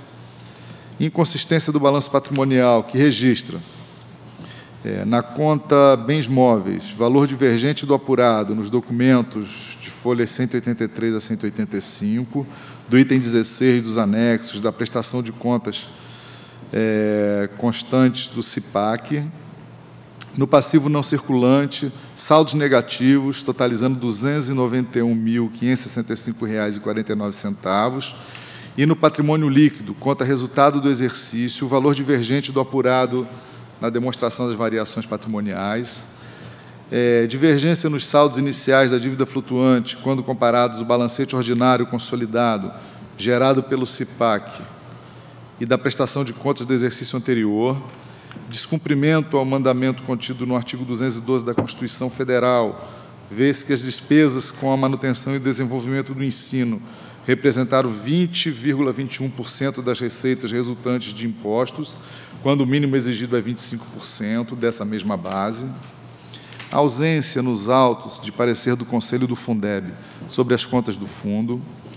Excesso de despesas com pessoal do Poder Executivo que representaram 71,72% da receita corrente líquida, quando o máximo permitido é 54% da mesma base, é, de registrar-se, quanto a esse aspecto, que a aludida Prefeitura está com excesso nas despesas totais com o pessoal desde 2011, consoante demonstrativo de folha 46, a ausência de encaminhamento pela origem das metas de resultados primário e nominal fixadas para o exercício, a ausência de encaminhamento pela origem da documentação relativa à fixação e alteração dos subsídios dos agentes políticos, a ausência de procedimento licitatório ou justificativa de sua dispensa ou inexigibilidade referente à aquisição de refeições preparadas da firma AM Boni Microempresa, no valor de R$ 16.381,50, e a aquisição de medicamentos e material odontológico no valor de R$ 71.000 R$ 680,52, sem identificação do fornecedor, vez que os empenhos respectivos foram efetivados em nome do próprio fundo. Inconsistência do demonstrativo de obras contratadas no exercício de 2014, no qual o senhor Otávio Guimarães Vareda, prefeito, firmou declaração de nada consta, vez que o anexo 2 da Lei nº 4.320-64 registrou a esse título a realização de despesas no valor total de R$ 247 mil R$ 536,73. A ausência de encaminhamento da documentação elencada no anexo 7 do Manual de Referência aprovado pela Resolução TCE número 87/2013, atinente ao Fundo Municipal de Saúde, descumprindo a determinação constante do, do artigo 2 caput da referida norma ausência de encaminhamento do parecer do Conselho Municipal de Saúde referente às despesas realizadas com as ações e serviços públicos de saúde no exercício de 2014, infringindo a determinação constante dos artigos 31, inciso 3 e 36, parágrafo 1 ambos da Lei Complementar Federal número 141/2012 realização de despesas sem finalidade pública no valor total de R$ 5.664,60 consistente no pagamento de multas, conforme discriminado no quadro 21, folha 54 desses autos, e inexistência de controle interno da unidade, bem como do parecer respectivo, contrariando as determinações constantes dos artigos 74 da Constituição Federal e 64 da Constituição Estadual, bem como das normas constantes da Resolução TCE número 76/2012. Regularmente citados, os senhores Otávio Guimarães Vareda, prefeito, e de Jaume Eduardo Cardoso, contador, quedaram-se inertes, conforme certidão a folha 72. Ante o exposto, este MPC opina: 1. Um, pela emissão de parecer prévio, considerando irregular a prestação de contas subexame, é, pela emissão de acórdão, condenando o senhor Otávio Guimarães Vareda a devolver aos cofres da municipalidade corrigida monetariamente, acrescida dos juros legais, a importância de R$ 1.133.094,68, atinentes às disponibilidades financeiras não comprovadas e ao pagamento de despesas sem finalidade pública. É, condenar o senhor Otávio Guimarães Vareda ao pagamento da multa sanção, dosar a critério do plenário, em face das condutas descritas nos itens 1, 2, 5, 9, 13, 15, 16, 17, 19 e 20 deste parecer, é, configuram graves infringências das normas legais de regência, nos termos do que dispõe o artigo 89, inciso 2, da Lei Complementar Estadual número 38, 93. É, condenar o senhor Otávio Guimarães Vareda ao pagamento da multa sanção, dosada a critério do plenário, em face da conduta descrita no item 22 deste parecer, configurar o não atendimento à decisão deste tribunal, objeto da resolução TCE número 76/2012, consoante previsão incerta no artigo 89, inciso 4 da Lei Complementar Estadual número 38/93, é, condenar o senhor Otávio Guimarães Vareda ao pagamento da multa sanção dosada a critério do plenário em percentual dos seus vencimentos anuais, em face das condutas descritas nos itens 5 e 14 deste parecer, configurar infrações administrativas contra as leis de finanças públicas, nos termos das previsões incertas no artigo 5º, incisos 3 e 4 da Lei Federal número 10.028/2000, respectivamente é, condenar o senhor Djalma Eduardo Cardoso, contador, ao pagamento de multa sanção dosada a critério do plenário, em face das condutas descritas nos itens 3, 4, 6, 7, 10, 11 e 18 deste parecer, configurar grave infringência das normas legais de regência nos termos do que dispõe o artigo 89, inciso 2 da Lei Complementar Estadual número 38/93. Pelo encaminhamento do apurado ao Ministério Público Estadual para as providências que entender adotar, em razão do que foi noticiado nos itens 2, 5, 17 e 18 deste parecer, e o que consta nos artigos 1 inciso 5, 11 e 17 do Decreto-Lei nº 201/67, artigos 299 e 359-D do Código Penal Brasileiro e artigos 89 e 100 da Lei nº 8666/93 e pela abertura de processo autônomo para apurar a legalidade da fixação e do pagamento dos subsídios dos agentes políticos, em razão do que foi noticiado no item 16 deste parecer. É o pronunciamento. Com a palavra, senhor conselheiro relator, para proferir seu voto. Obrigado, senhor presidente. A presente prestação de conta foi protocolada neste tribunal, fora do prazo estabelecido na Constituição Estadual, artigo 23, parágrafo 1 da análise das informações apresentadas nos autos, o relatório técnico da segunda GCE emitiu um parecer ministerial verificando verific, é, verifica-se as falhas e irregularidades. Essas falhas e irregularidades já bem é, expostas pelo doutor Ministério Público vão descritas no meu voto da letra A à letra U já bem exposto pelo doutor Ministério Público, não vou repetir aqui de novo. Estão expostas aqui no meu voto, da letra A à letra U. Tais inconformidades caracterizaram graves infringências às normas constitucionais e legais. Embora regularmente citados para exercerem o contraditório e ampla defesa, o prefeito municipal e o profissional responsável pela elaboração dos dos demonstrativos contábeis não ofereceram nenhuma resposta a esta Corte de Contas. Em face do exposto voto pela emissão de parecer prévio, considerando irregular a, presente, a prestação de contas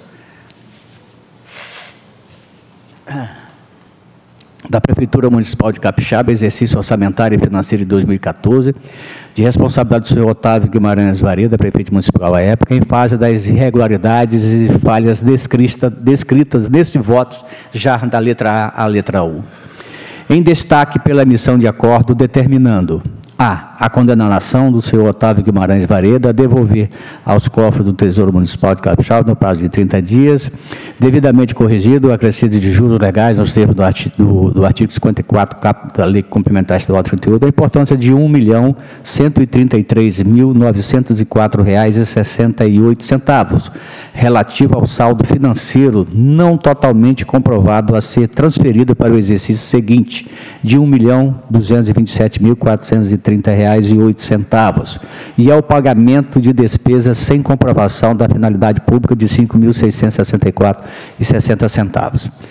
2.2, aplicação de multa ao senhor Otávio Guimarães Vareda, com fundamento no artigo 88, no valor correspondente a 10% da importância da condenação acima imposto, assinalando um prazo de 30 dias para o efetivo recolhimento em favor do Tesouro Municipal de Capixaba.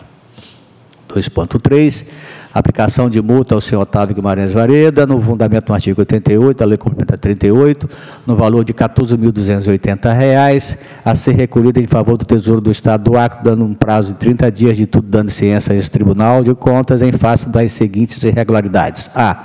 Não encaminhamento do Plano Plurianual, PPA, da Lei de Diretrizes Orçamentárias, LDO, e da Lei Orçamentária da Anual LOA. B. Realização de suplementações orçamentárias sem autorização legislativa.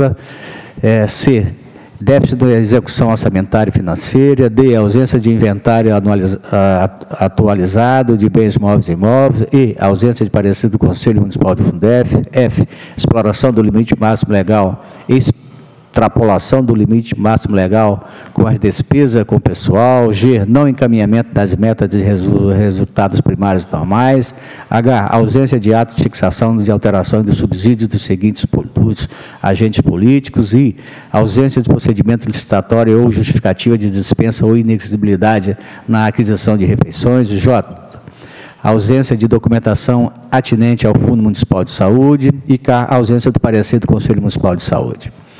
2.4, pela aplicação de multa ao senhor Djalma Eduardo Cardoso, é contabilista responsável pela elaboração dos demonstrativos contábeis, conforme no artigo 89, segundo da Lei Complementar 38, no valor de R$ 3.570 é, reais, considerando os princípios da razoabilidade e proporcionalidade em face das irregularidades e falhas contábeis apontadas na prestação de contas a ser recolhida em favor do Tesouro do Estado do Acre no prazo de 30 dias de tudo dando ciência a esse tribunal. 2.5. A notificação do atual prefeito municipal de Capixaba para tomar ciência desta decisão e do apurado pela análise técnica, devendo reconduzir imediatamente os valores da, da, da despesa de pessoal aos limites estabelecidos na Lei de Responsabilidade Fiscal, caso ainda persista a extrapolação. 2.6. A comunicação do aprovado do Ministério Público Estadual para a adoção das providências que entender pertinente abertura de tomada de conta especial nos termos do artigo 44, parágrafo 1 da Lei Complementar Estadual, para verificação da legalidade dos gastos com a remuneração dos agentes políticos, prefeito, vice-prefeito e secretário municipal durante o exercício de 2014. Após a formalidade de estilo, pelo encaminhamento de cópia dos aos autos da Câmara Municipal de Capixaba, em cumprimento do disposto no artigo 23 da Constituição Estadual. É o voto, senhor presidente. Em votação, conselheiro José Augusto. Relator conselheiro Antônio Jorge Malheiro. Excelência, na íntegra com o nobre relator, foi um processo à revelia, mas foi apontado eh, pelo nobre relator e também tem a caracterização de três, de três situações que estão previstas no Código Penal, no artigo 299, 359 B e 359D, pelas alterações. Então, encaminharia também, em função dessas caracterizações de crime, ao Ministério Público Estadual. Eu estou encaminhando. Ah, também com, com o nobre relator, Já na íntegra, excelência. Inclusive, eu citei encaminhamento ao doutor do Ministério Público Estadual. Conselheiro Ronaldo Polanco. Eu, quero divergir em relação à multa, é, diminuir a multa para R$ 7.140, inclusive retirar ali, na, que em 2014, não, a parte de, do inventário fica fora também da, da inclusão como uma irregularidade. Esse é o voto. Vai acompanhando é, o resto o relator. Inclusive, nobre conselheiro Malheiro, está no meu voto no 2.6, a comunicação do apurado ao Ministério Público Estadual. Ótimo. Obrigado, acompanho Vossa Excelência.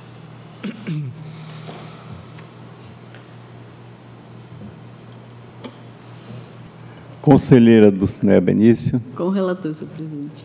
Conselheira Nalu Maria. Com o relator, senhor presidente decisão decidiu-se a unanimidade nos termos do voto do nobre conselheiro relator, divergindo quanto à multa e ao inventário, nobre conselheiro Ronald Polanco. Passamos ao processo 21.789, continua como relator o nobre conselheiro Antônio Cristóvão Corrêa de Messias, a quem concede a palavra. Obrigado, senhor presidente. Trata-se da tomada de contas da Câmara Municipal de Brasileia, referente ao exercício de 2015 e a responsabilidade do senhor Mário Jorge Gomes Fiesca, presidente da mesa diretora. O feito foi registrado e autuado em cumprimento do despacho Folha 02 da Presidência da Corte, tendo em vista a comunicação interna número 130 de 2016, as folhas 02 a 05, subscrita pela diretora da DAFO, na qual relacionou os jurisdicionados que não encaminharam até 31 de março de 2016 as prestações de conta do exercício de 2015. análise técnica procedida pela Jaguna GCE, a folha 07 a 11, com documentos anexos de folha 12, apurou que não foi atendido o disposto do artigo 2 parágrafo 2 da resolução TCE 87 de 2013, em face do não encaminhamento das informações orçamentárias, financeiras, contábeis e patrimoniais para o sistema de análise e gestão do relatório. Regulamente citado a folha 17, o responsável encaminhou tempestivamente a defesa de folha 19 a 55 na qual alega que a prestação de contas não foi enviada em virtude de falha no sistema de dados dos, dos computadores da empresa que presta o serviço de suporte à Câmara Municipal. Mas que, apesar disso, algumas informações foram transmitidas ao sistema de prestação de contas do TCE, tendo que a demora na transmissão dos demais dados ocorre pelo fato de ter que refazer os lançamentos dos empenhos mensais. Informa ainda que todos os trabalhos atinentes à prestação de contas do Poder Legislativo Municipal seriam concluídos em até 15 dias. A defesa foi examinada pela inspetoria, que ao final emitiu o relatório complementar de folha 59 a 63, apurando que, transcorrido o prazo informado pelo gestor, para enviar toda a documentação que deveria compor a prestação de contas, foram apresentada apenas a relação de empenhos por credor, folha 23 a 42, e alguns procedimentos licitatórios, folha 43 a 55, que não são suficientes para a análise dos gastos públicos realizados no exercício de 2015, tais como os subsídios pagos aos agentes políticos e e o cumprimento dos limites constitucionais legais. Assim sendo, a instrução sugere a esta Corte considerar irregular as contas da Câmara Municipal de Brasileia. Exercício de 2005. O seu turno, o Ministério Público Especial se manifestou a folha 68 a 71 em pronunciamento da lata incentiva, senhor Procurador Sérgio Cunha Mendonça, ao relatório. Com a palavra o Ministério Público de Contas para o seu parecer. A tomada de contas em referência de responsabilidade do senhor Mário Jorge Gomes Fiesca, presidente da Câmara Municipal de Brasileia, foi instruída através da CI número 130/2016 por solicitação da titular da Diretoria de Auditoria Financeira e Orçamentária deste tribunal. A segunda inspetoria pronunciou-se as folhas 7 a 11 e 59 a 63. Regularmente citado a folha 17, o gestor apresentou a defesa. O presidente da Câmara alega que a falta de prestação de contas decorreu da, de falha no sistema de dados dos computadores e os dados e informações já confeccionados pelo secretário de Finanças foram é, danificados em razão de pane no sistema de dados da empresa que presta serviço de suporte, informando, na data de 2 de junho de 2016, que no prazo de 15 dias encaminharia os trabalhos atinentes à prestação de contas. Apesar do compromisso estipulado pelo próprio gestor, a DAF informa que, em 10 de fevereiro de 2017, a prestação de contas ainda não havia sido encaminhada.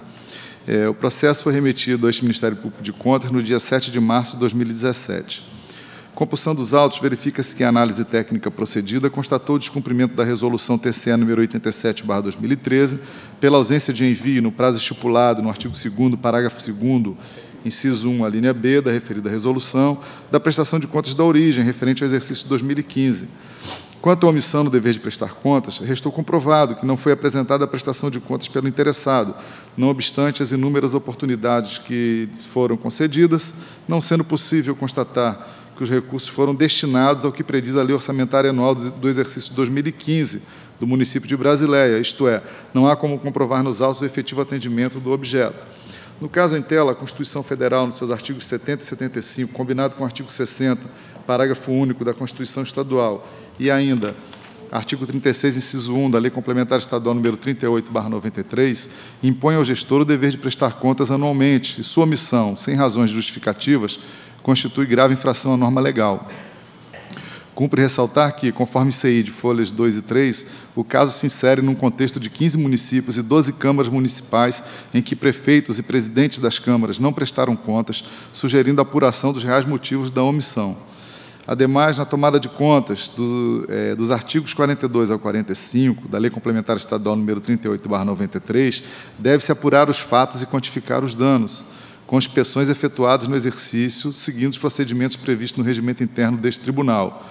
Ante o exposto, recomendamos a adoção do trâmite definido no artigo 45 da Lei Complementar Estadual número 38/93, alertando que a falta de prestação de contas anual da Câmara Municipal também seja a medida extraordinária de intervenção do Estado na esfera municipal, conforme vem decidindo várias cortes de justiça e que o senhor, o que o gestor, senhor Mário Jorge Gomes Fiesca, teve aberto contra si o processo de tomada de contas número 20 225-2015, pelo mesmo motivo de não entrega de prestação de contas devidas relativas ao exercício de 2014. É o pronunciamento. Com a palavra o nobre conselheiro relator para proferir o seu voto. Presidente. Senhor presidente, senhoras conselheiras, senhoras conselheiros, esse é um processo já, já também, já que já tem decisões desta corte semelhantes, em que no ocorrido esta Corte tem pedido é, a devolução integral do orçamento fixado para o, o, ente público, já que ele não prestou conta. Então, diante do exposto, voto pela irregularidade da, das contas da Câmara Municipal de Brasileira relativa ao exercício orçamentário e financeiro de 2015, de responsabilidade do senhor Mário Jorge Gomes Fiesca, presidente da mesa diretora à época, com fundamento nas linhas A e B do inciso 3 artigo 51 da Lei Complementar Estadual 38. 2. A condenação do senhor, senhor Mário Jorge Gomes Fiesca a devolver aos cofres do Tesouro Municipal de Brasileia, no prazo de 30 dias, devidamente corrigido, e acrescido de juros legais, nos termos do artigo 54, caput da Lei Complementar Estadual 38, 93, a importância de R$ 1.350.000 reais relativo ao valor total do orçamento fixado para o Poder Legislativo Municipal de Brasileia para o exercício de 2015, conforme a Lei 00953 de 2014, LOA, sobre o qual não prestou conta, conforme apurado pela DAFO, segundo a IGCE, as folhas 59 a 63. De tudo dando ciência a este Tribunal de Contas. 3. Aplicação de multa ao senhor Mário Jorge Gomes Fiesca, com fundamento no artigo 88 da Lei Estadual, no valor correspondente a 10% da importância a ser devolvida, assinalando-lhe um prazo de 30 dias para o, para o efetivo recolhimento em favor do Tesouro Municipal de Brasileia. De tudo dando ciência a esse Tribunal de Contas.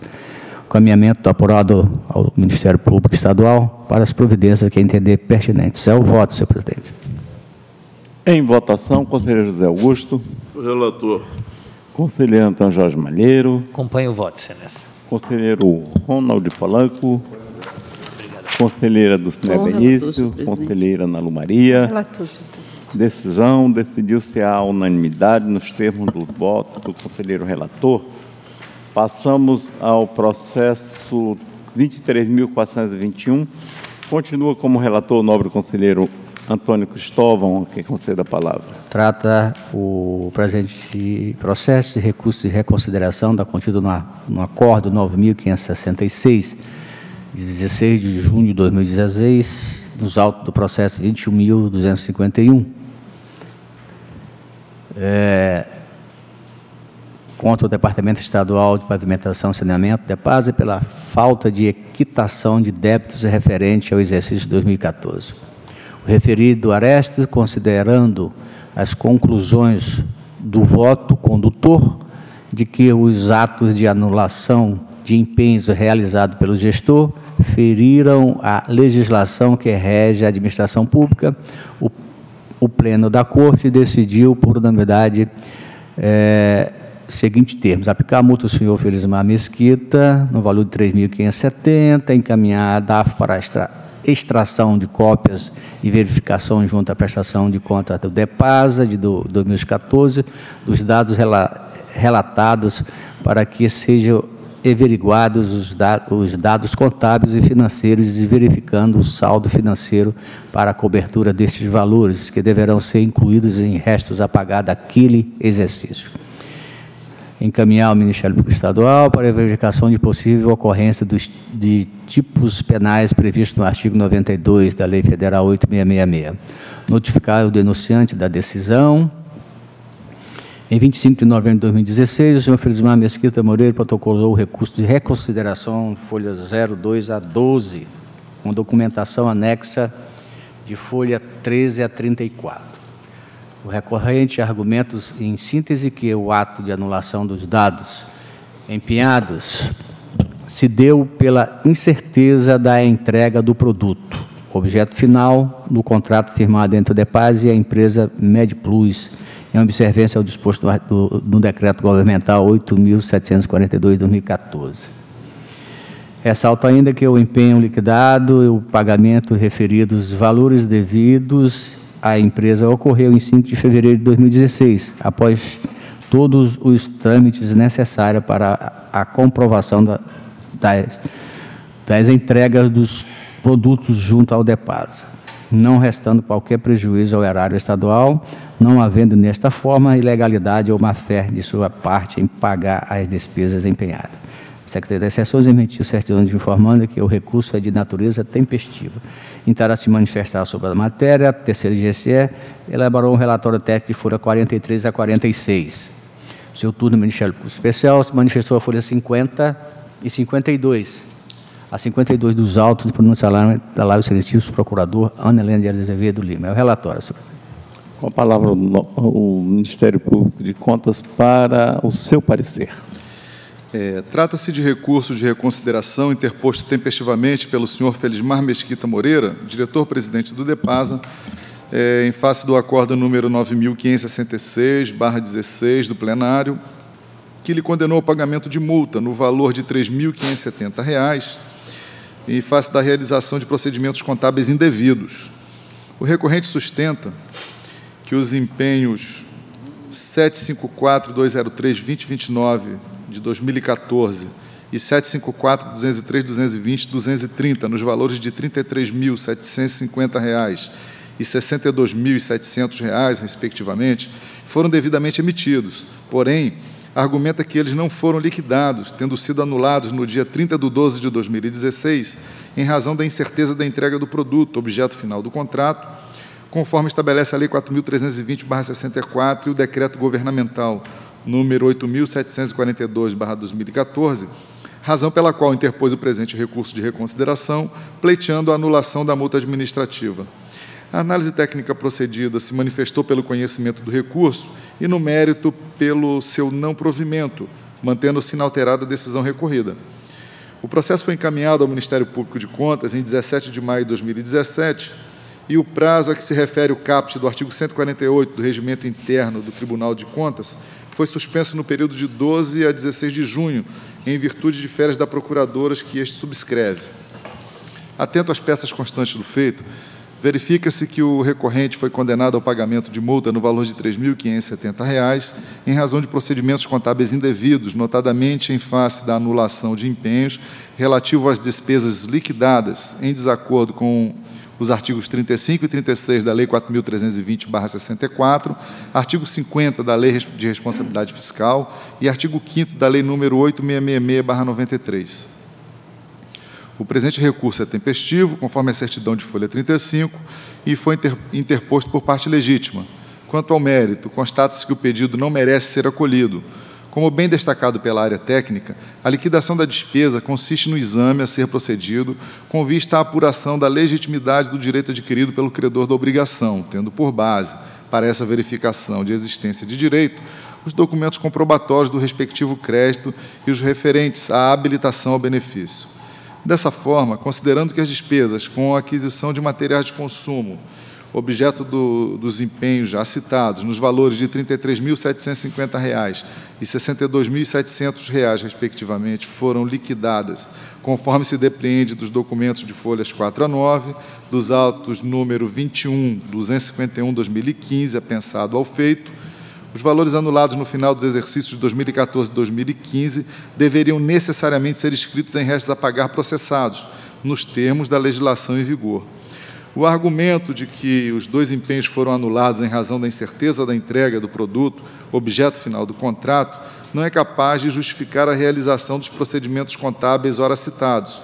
Isso porque as notas fiscais é, acostadas folhas 7 e 8 do processo número 21 251 2015 se acham devidamente atestadas pelo senhor José Aurimar de Oliveira, que é chefe da divisão de almoxarifado do DEPASA, o qual constatou, respectivamente, nos dias 20 de outubro de 2014 e 24 de outubro daquele mesmo ano, que os materiais constantes nas mencionadas notas foram devidamente recebidos pelo setor responsável. Além disso, se ainda houvesse efetivamente dúvida acerca da mercadoria entregue e atestada, o responsável deveria ter aberto, ao menos, um processo investigatório para apurar os fatos, o que não ocorreu. Assim, não se vislumbra nos autos a existência de fatos novos, nem tampouco a apresentação de documento hábil ou qualquer outra prova capaz de modificar o fundamento da decisão recorrida e da aplicação de multa. Ademais, constata-se que a multa administrativa foi fixada no valor de R$ 3.570, de acordo com a jurisprudência desta Corte de Contas sobre a matéria, com fulcro no inciso 2 do artigo 89 da Lei Complementar Estadual número 38/93. Ante o exposto, este Ministério Público de Contas acompanha as conclusões da área técnica, opinando pelo conhecimento do recurso por ser próprio e tempestivo e, no mérito, pelo não provimento, mantendo-se inalterado o aludido aresto. É o pronunciamento. Com a palavra, o nobre conselheiro relator para proferir o seu. Senhor presidente, é, é o mesmo entendimento do douto Ministério Público, vou direto e voto pelo conhecimento do presente recurso de reconsideração por ser próprio intempestivo e do mérito pelo seu não provimento, mantendo inalteradas as disposições contidas no, no acordo 9.566 de 2016 do plenário desta Corte. Após pelo arquivamento, é o voto. Em votação, conselheiro José Augusto. Apoio o voto. Conselheiro Antônio Jorge Malheiro. Nessa mesma linha, Excelência, como diziam os romanos, alegar se não comprovar, se eles não alegar, alegar não comprovar é não alegar. E a prova da, da atestação continua dentro do processo, a história colocada é coerente, mas sem nenhuma prova. É, inclusive, reluta contra uma multa de 7.140 que não estava dentro do processo, que era só de 3.750. Então, acompanhe na íntegra o voto do nobre relator, Excelência. Conselheiro Ronald Polanco. Acompanho o voto. Conselheira do senhor Benício. Com relator, senhor presidente. Conselheira Ana Com relator, senhor presidente. Decisão decidiu-se a unanimidade nos termos do voto do nobre conselheiro relator. Passamos agora ao processo 23.291.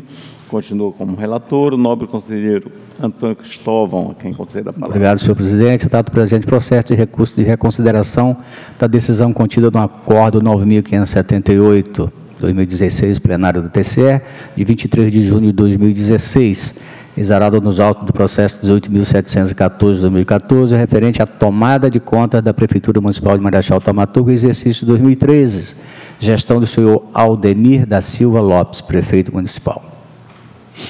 No julgamento do referido processo, o Pleno da Corte decidiu por unanimidade pela emissão de parecer prévio considerando irregulares as contas da Prefeitura Municipal é, em destaque pela emissão de acordo para condenar o senhor Aldemir da Silva Lopes a devolução aos cofres municipais de R$ 36.270.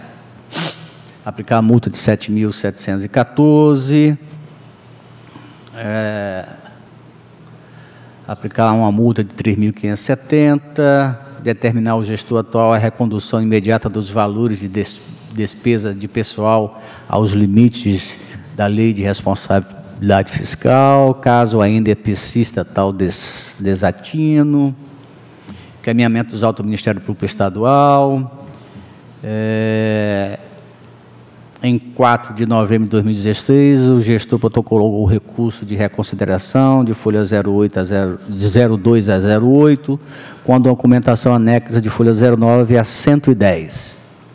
A Secretaria da Sessão certificou que o recurso é de natureza tempestivo. Está a se manifestar sobre a matéria, a DAFA, segundo o GCR, emitiu o relatório técnico complementar de folha 121 a 126. Ao concluir sua análise, a, a equipe técnica propõe acatamento parcial das razões recursais apresentadas. Ministério Público Especial se manifestou a folha 130 a 131 dos autos. Pronunciamento assumido do senhor procurador, chefe, doutor Mário Sérgio Nery de Oliveira. É o relatório, senhor presidente. Com a palavra o Ministério Público de Contas para o seu parecer.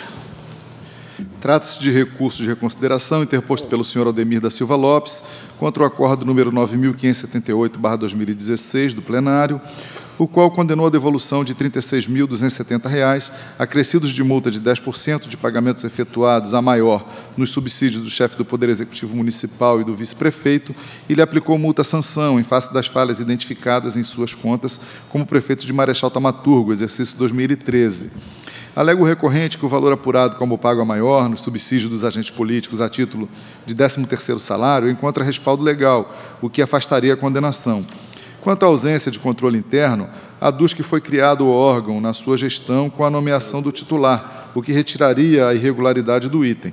Por fim, sustenta que a realização de despesa sem licitação apontada derivou de, da ausência de envio de relatório de procedimentos licitatórios, porém nenhuma despesa foi efetuada sem prévia licitação. Pede a diminuição da multa-sanção e a desconstituição da condenação à devolução de R$ 36.270. A peça preenche os requisitos de admissibilidade previstos nos artigos 67 e 68, ambos da Lei Complementar Estadual número 38/93. Segundo a instrução, o recorrente trouxe elementos suficientes para elidir a condenação do aludido débito, visto que o 13º salário dos agentes políticos locais tem amparo na Lei Orgânica Municipal. Da mesma forma, restou demonstrado que o montante de contratação estava respaldado em processos de autorização das despesas, concluiu-se que permaneceu apenas a irregularidade quanto à atuação do controle interno. Assim sendo, endossamos a proposta de conhecimento do apelo e seu provimento parcial para fins de exclusão das letras I, J e K do parecer prévio número 587/2016, mantendo-se a sugestão de irregularidade das contas. Quanto ao acordo número 9578/2016, opinamos pela exclusão da condenação do gestor à devolução do valor de R$ 36.270 e da multa acessória, em razão da correção da irregularidade, bem como pela redução da multa-sanção face à demonstração da autorização das despesas, mantendo-se as demais combinações. É o pronunciamento. Com a palavra, o Ministério, com a palavra, o nobre relator para proferir o seu voto. Senhor presidente, o mesmo entendimento do doutor Ministério Público, já que ele eludiu aqui na sua defesa, nos, é, nas folhas 95 a 102. Então, eu passo direto ao voto. É, é, é, isto considerando que as justificativas e os documentos apresentados pelo recorrente foram capazes de ilidir, em parte, os fundamentos da decisão exarada nos autos do processo de 18.714, tomada de contas da Prefeitura Municipal de Marechal Tamaturgo, exercício de 2013, face ao descumprimento é, do recurso de 02 de 2008, voto pelo conhecimento do presente recurso de reconsideração por ser próprio e tempestivo e no mérito pelo seu provimento parcial, no sentido de 1. Um, retificar o parecer prévio 587 de 2016 para excluir os considerando dos itens 10, 11 e 12, mantendo-se as irregularidades das contas da Prefeitura Municipal de Marechal Tematurgo relativo ao exercício de 2013, em face da permanência das demais impropriedades que não foram objeto de do recurso. 2 modificar o acordo 9.578 de 2016, plenário TCE Acre, para excluir as medidas estabelecidas no item 1, no item 1, referente à devolução do valor de R$ 36.270 e a multa acessória em face da correção da irregularidade apurada no pagamento de 13º salários a agentes políticos, mantendo-se por seus próprios fundamentos os demais as demais disposições contidas no referido aresto, tendo em vista que as inconformidades remanescentes caracterizaram graves infringências às normas constitucionais e legais. Após pelo arquivamento, é o voto, senhor presidente. Em votação, conselheiro José Augusto. Foi o relator. Conselheiro Antônio Jorge Malheiro. Acompanho o voto, senhor. Conselheiro Ronaldo Polanco. Acompanho o voto. Conselheira Dulcinea Benício. Conselheira Ana Lu Maria. Com relator, senhor presidente. Decisão decidiu-se a unanimidade nos termos do voto do nobre conselheiro relator. Passamos ao processo 19.216, que tem como relator o nobre conselheiro Ronald Polanco, a quem conceda a palavra. Pois não, presidente. Trata-se de denúncia interposta pelo Conselho Regional de Medicina do Acre a respeito de contratação irregular de médicos por parte do município de Rodrigues Alves no ano de 2007. É, o ofício expedido requerendo documentos com fito de melhor instruir feito foi realizado pela nossa inspetoria em resposta à solicitação à folha 171. É, por meio de, do, do, do, documento, o tribunal, é, no dia 22 de, primeiro de, de 1 de 2015, a folha 186, a nossa inspetoria solicitou informações também ao Ministério Público Estadual é, acerca de um possível TAC com a Prefeitura de Rodrigues Alves, não sendo obtida resposta a respeito. Em última análise, em relatório técnico, as folhas 187 a 194, a unidade técnica reconhece a ausência dos, nos autos de documentos comprovatórios sobre a regularização da, de tais situações né, dos médicos e ainda a ausência de informações sobre possíveis TACs firmados com o município opina que houve descumprimento do ordenamento jurídico sobre a matéria por parte do ente analisado. E, ao final, também opina que esta Corte faça recomendações ao município que realize periodicamente concursos públicos para suprir a carência de médicos. É, pronunciamento do nosso Ministério Público, as folhas 200 a 202. É o relatório, senhor presidente. A palavra o Ministério Público de Contas para o seu parecer. Trata-se de denúncia formulada pelo Conselho Regional de Medicina, noticiando a contratação de médicos pelo município de Rodrigues Alves, Poder Executivo, é, sem o devido registro profissional no CRM, sem concurso público, em desacordo com o previsto no artigo 37, inciso 2 da Constituição Federal.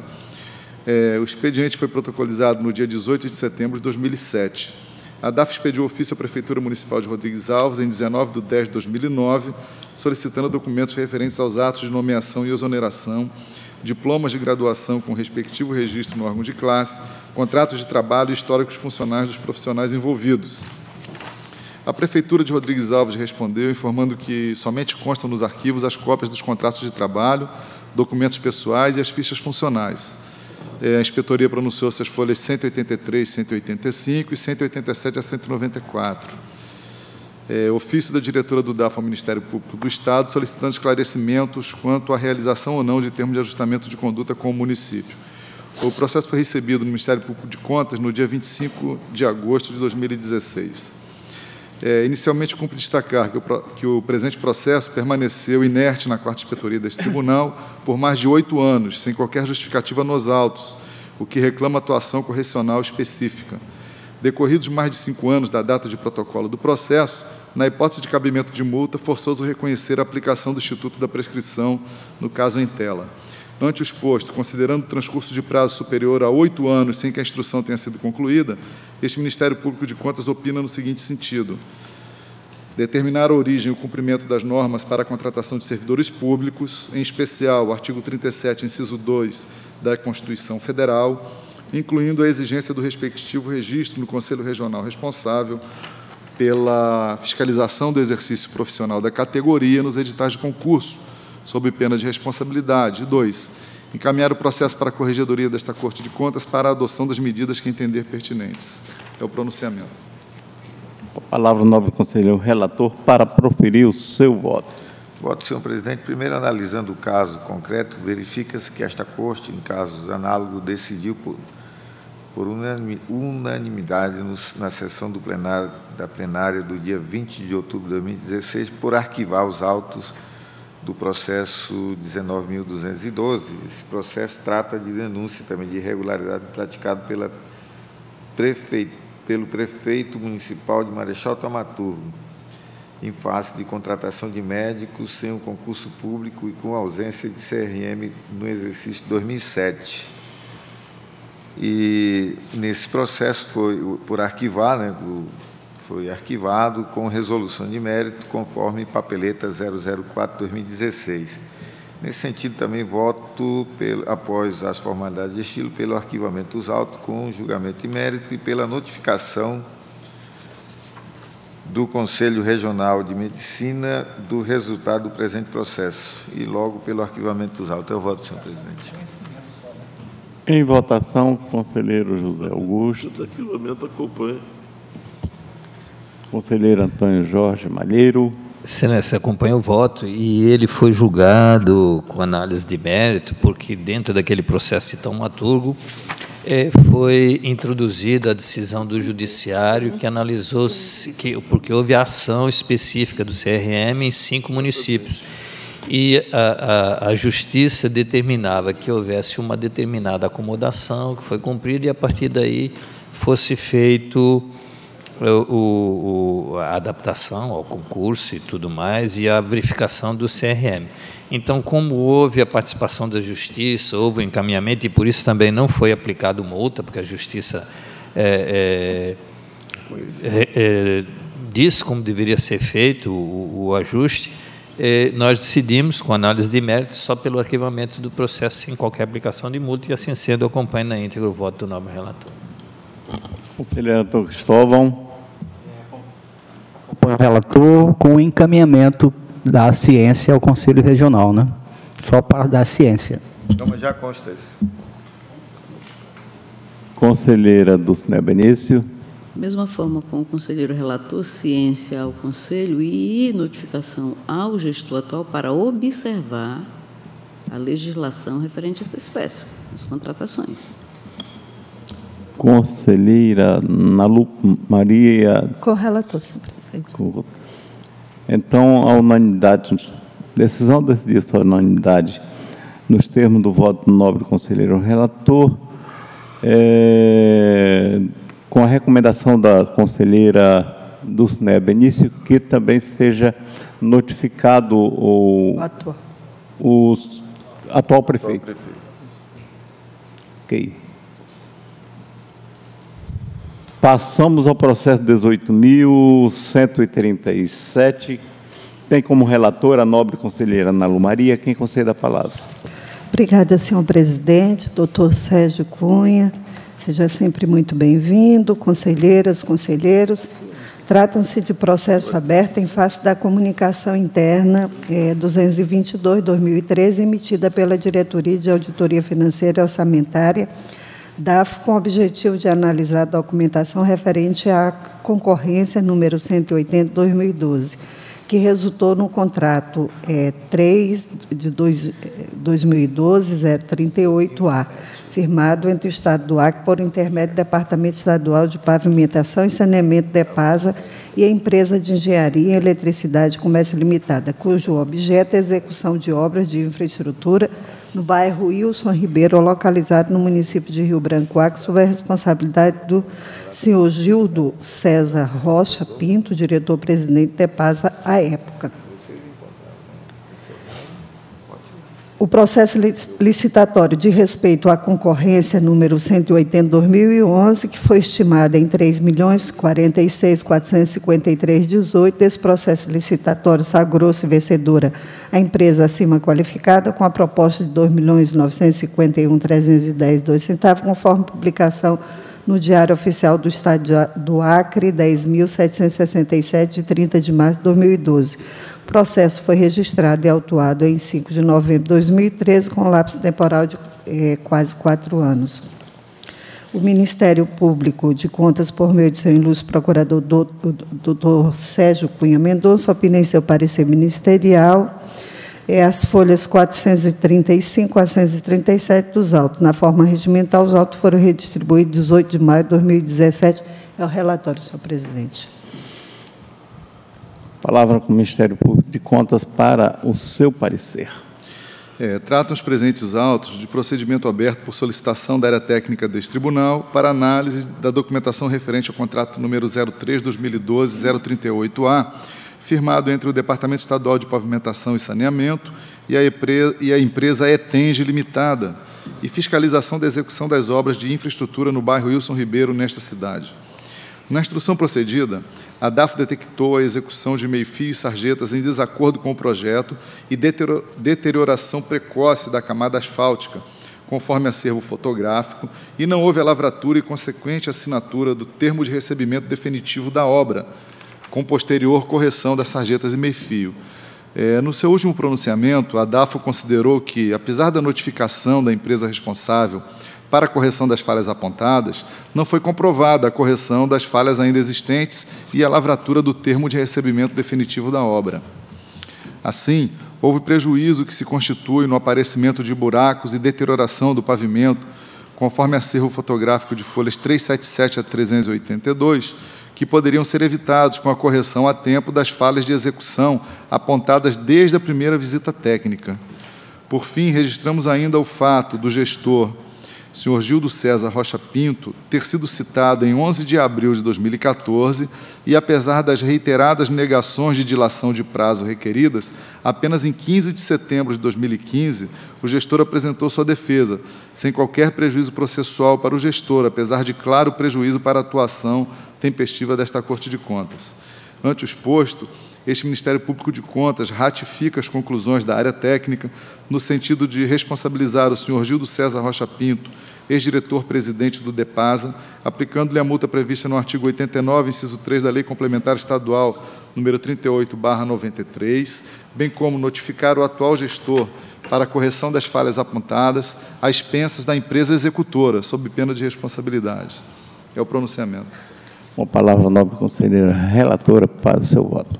Obrigada, senhor presidente. Trato os autos da análise de concorrência número 180, 2011, CPL 5 e contrato número 3, 2012, 38A, firmado entre o Departamento Estadual de Pavimentação e Saneamento, DEPAS e Atende, empresa de engenharia, eletricidade e comércio limitada, solicitada através da CI 222-2013 pela diretoria é, DAFA em 31 de 10 de 2013, tendo como objeto a execução de obra de infraestrutura no bairro Wilson Ribeiro, localizado no município de Rio Branco Acre.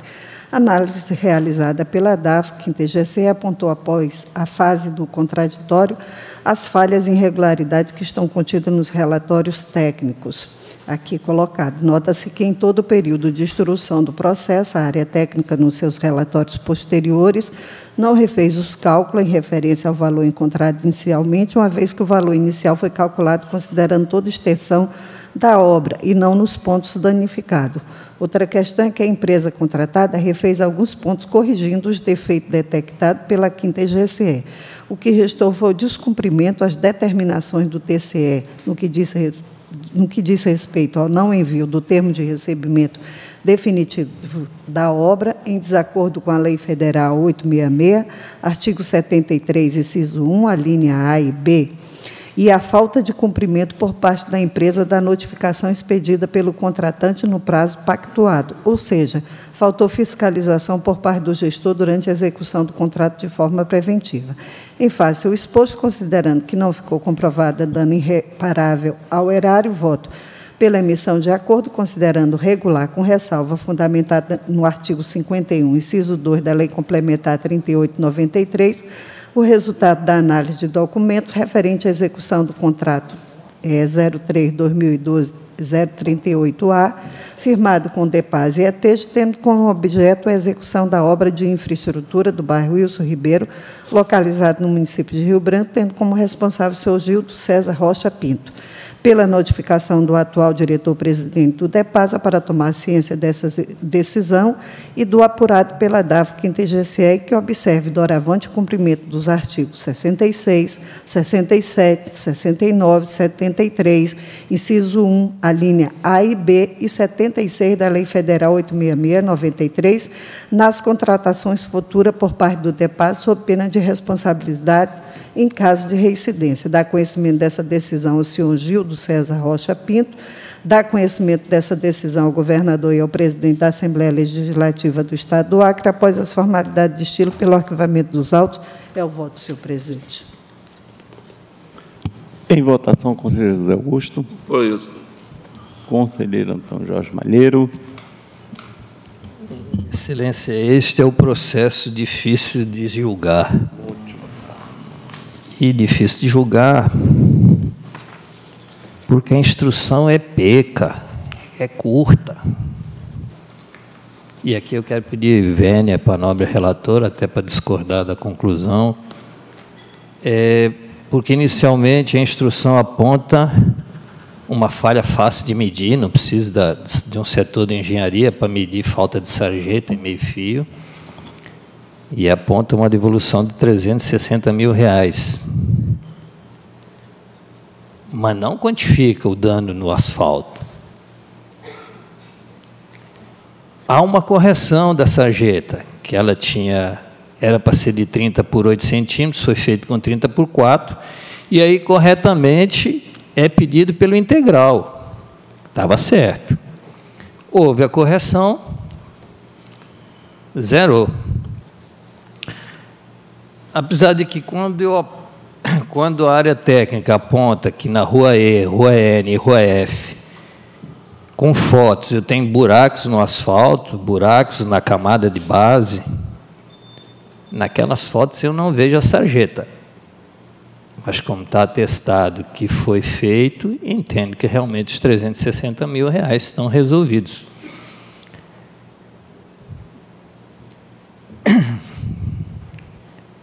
Mas eu estou dizendo e concluindo que no Rua E, eu estou cheio de buracos na camada de asfalto, eu não tenho mais o asfalto. Na Rua N, eu tenho a TSD está soltando.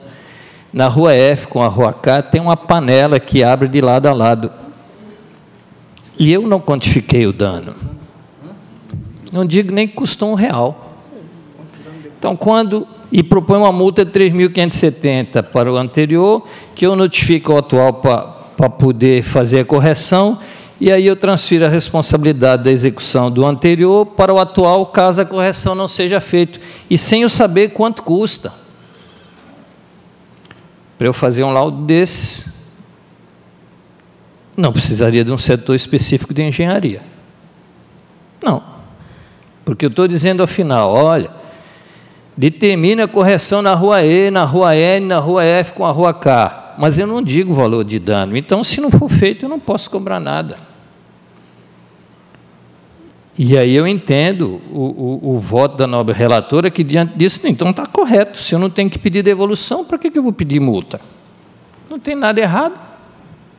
Entendo, entendo o voto da nobre relatora. No entanto, está lá as fotos dizendo que na rua E realmente você não vê mais nenhum asfalto, na rua F tem buraco e o TSD está soltando, é visível. E eu não quantifiquei o dano. Eu não estou pedindo devolução.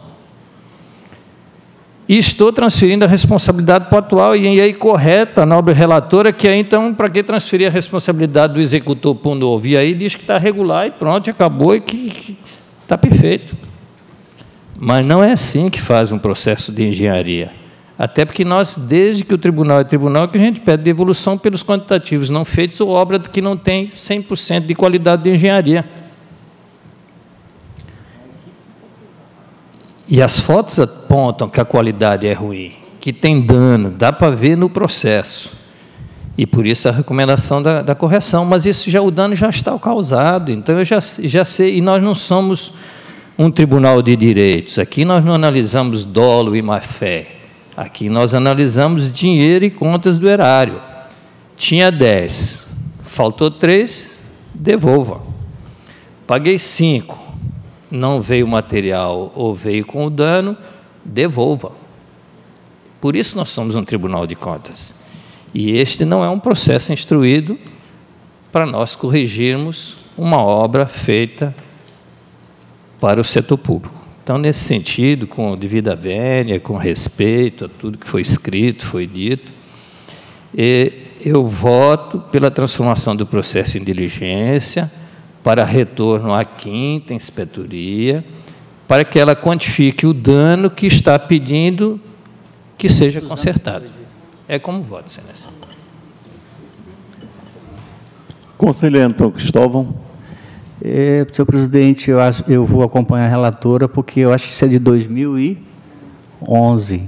Para você ver o dano agora vai ser um pouco difícil, então eu vou acompanhar a relatora.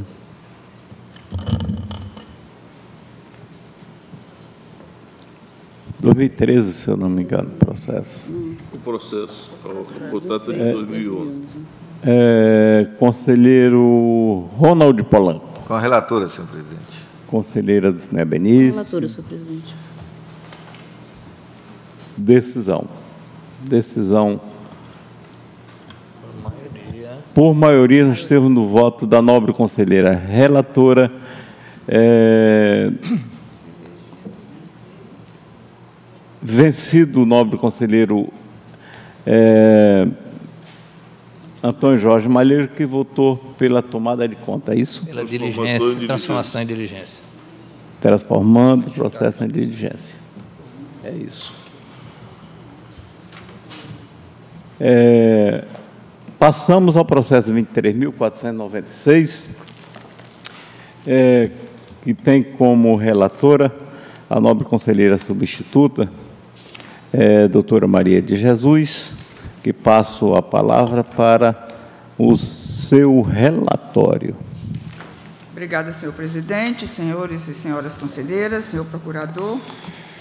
Trata-se de processo instaurado a partir da comunicação interna número 23 2017, oriunda da Diretoria de Auditoria Financeira e Orçamentária DAFO, informando sobre a realização de processo seletivo simplificado para a contratação temporária de servidores pela Prefeitura Municipal de Cruzeiro do Sul, através do edital número 1, 2017, publicado no Diário Oficial do Estado, número 11.981, de 25 de janeiro de 2017, sem a observância por parte do ente da sua constatada situação de descumprimento do limite de gastos com pessoal. Foi registrado e autuado, o processo foi distribuído e foi expedido medida cautelar, determinando que o prefeito municipal de Cruzeiro do Sul, senhor Ilderlei Souza Rodrigues Cordeiro, suspendesse a realização do processo seletivo simplificado. Após ouvir o Ministério Público, o processo, a medida cautelar foi ratificada por este pleno na sessão de número 1270 do dia 2 de fevereiro de 2017. Notificado pelo Diário Eletrônico de Contas, no dia 2 de fevereiro de 2017, o gestor apresentou defesa às folhas 40 a 61, por intermédio do procurador do município, alegando que se trata de provimento de cargos necessários ao regular funcionamento de serviço inadiável e essencial, educação, de contratação de caráter de substituição de professores demitidos em 2016 sem ocorrência de gastos adicionais. Que as despesas de pessoal em janeiro de 2017 encontram-se dentro do patamar regulamentado pela Lei de Responsabilidade Fiscal. Assim, o processo seletivo se enquadra na exceção prevista do artigo 22, parágrafo único, inciso 4, da Lei de Responsabilidade Fiscal e requer, portanto, a revogação da cautelar. O processo foi encaminhado para análise, que apurou que a despesa de pessoal nos exercícios 2014, 2015 e 2016 consumiram, respectivamente, 64 66% e 65% de sua receita corrente líquida, o que demonstra o descumprimento dos limites previstos na Lei de Responsabilidade Fiscal. Destacou ainda que na defesa não constam documentos com informações suficientes que comprovem que o município não tem condições instaladas de assegurar as garantias dadas pela Constituição sem as contratações derivadas do edital do concurso público número 1 bem como de que as referidas contratações não geram novas despesas por se tratar de substituições de profissionais que tiveram seus contratos encerrados em dezembro de 2016. E ainda, a demonstração referente ao limite pessoal apresentada na defesa foi elaborada considerando um único mês, janeiro de 2017, e não é esta a forma correta do cálculo. Portanto, não exime a extrapolação dos índices apurados por este tribunal. Assim, propõe manter a medida cautelar, que visa a suspensão do processo seletivo e determina a recondução das despesas de pessoal do município aos limites previstos na Lei de Responsabilidade Fiscal. O processo foi ao Ministério Público de Contas, que sugeriu a rejeição das razões justificativas antes de seu pronunciamento. Retornando o processo a esta relatoria, procedeu-se uma nova citação do gestor, informando que a defesa não foi suficiente para motivar a suspensão da medida cautelar e solicitando um rol de documentos que pudesse comprovar as suas alegações. A Prefeitura de Cruzeiro do Sul, por intermédio do procurador do município, não apresentou defesa nem encaminhou os documentos requeridos, mas juntou a liminar em mandado de segurança expedida pelo Poder Judiciário do Estado do Acre, que suspende os efeitos da decisão cautelar. Novamente encaminhado à área técnica para instrução, a DAF realizou diligência por meio de ofício, solicitando documentação da origem, a fim de averiguar as alegações produzidas pela defesa, de que as admissões se enquadravam em substituição de pessoal, no entanto, o gestor nada apresentou. Produzido novo relatório técnico, considerando a ausência de documentação, a análise ocorreu com base nas informações constantes nos autos e no CIPAC, demonstrando que entre o exercício 2016 e o primeiro quadrimestre de 2017 houve uma redução do percentual de participação da despesa com pessoal na receita corrente líquida do ente, mas que, quando da convocação dos aprovados no processo seletivo simplificado, o referido município ainda encontrava-se com a despesa de pessoal acima do limite legal. A decisão judicial concedeu a segurança impetrada pelo município, anulando a medida cautelar desta Corte de Contas quanto à suspensão da realização do processo seletivo simplificado. Ao final, a análise propõe a suspensão do feito até o trânsito final da decisão proferida do mandado de segurança. O Ministério Público de Contas manifestou-se novamente por meio da ilustre procuradora Ana Helena de Azevedo Lima, as folhas 196 2 e 196 dos autos. É o relatório, senhor presidente. Com a palavra o Ministério Público de Contas para o seu parecer. É, Trata-se de expediente da DAFO noticiando a realização de processo seletivo simplificado, edital número 01/2017, pelo município de Cruzeiro do Sul, quando o ente se encontrava acima do limite máximo da despesa com pessoal, conforme o relatório de análise técnica elaborado com base no sistema de prestação e análise de contas, que atestava a despesa no patamar de 65,38% da receita corrente líquida em outubro de 2016, quando na verdade era de 63,51%, também acima do limite. Devidamente autuado, o processo foi distribuído para a conselheira Maria de Jesus de Carvalho de Souza, que expediu a medida cautelar de folhas 19 a 23. O processo foi encaminhado a este Ministério Público de Contas em 1 de fevereiro de 2017 para cumprimento do artigo 21 da Lei Complementar Estadual número 38/93, antes da submissão da referida cautelar à ratificação do plenário da Corte, nos termos do parágrafo 1 do artigo 276 do Regimento Interno do Tribunal de Contas da União, aplicável ao caso por força do artigo 172 do Regimento Interno do Tribunal de Contas do Estado.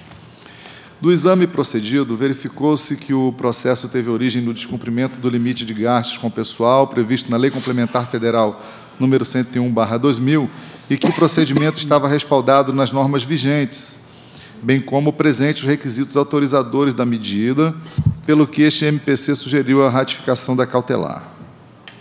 Com efeito, instado a se manifestar, o responsável carreou aos autos as justificativas de folhas 40 a 61 por intermédio do procurador do município, que alega, resumidamente, se enquadrar a seleção na exceção prevista no inciso 4 do parágrafo único do artigo 22 da Lei Complementar Federal número 101/2000, de substituição de pessoal na área de educação, postulando a suspensão da medida. A instrução, ante a falta de provas, sugeriu a manutenção da cautelar.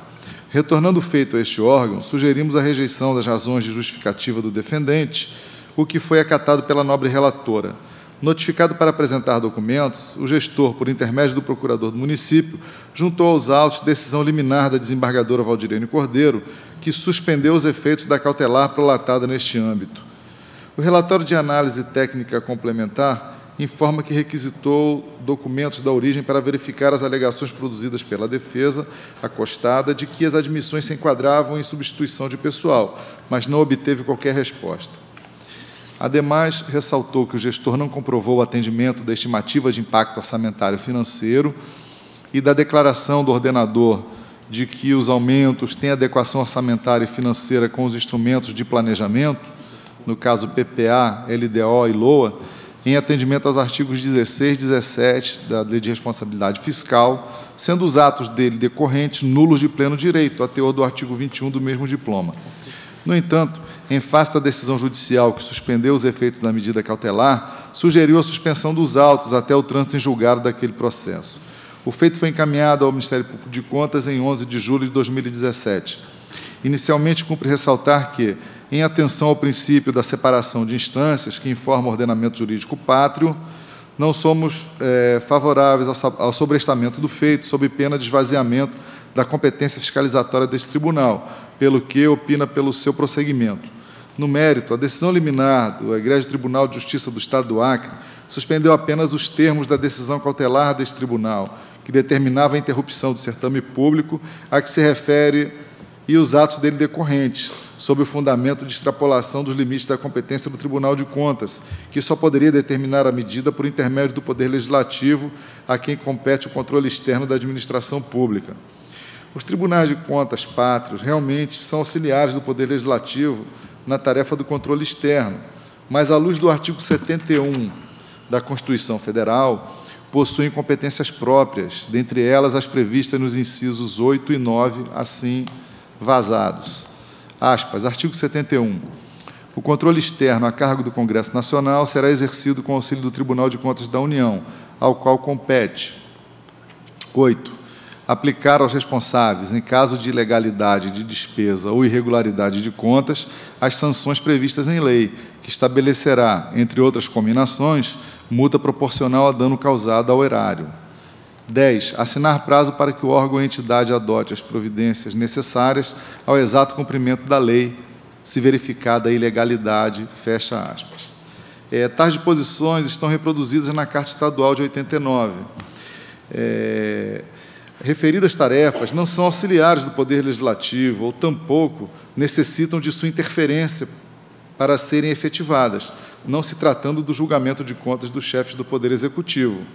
No caso em tela, o Poder Executivo de Cruzeiro do Sul, segundo o último demonstrativo enviado ao sistema deste tribunal, anexo, continua acima do limite máximo da despesa de pessoal previsto no artigo 169 da Carta da República, combinado com a linha B do inciso 3 do artigo 20 da Lei Complementar Federal número 101/2000, devendo promover sua adequação nos termos do artigo 23 do citado diploma legal.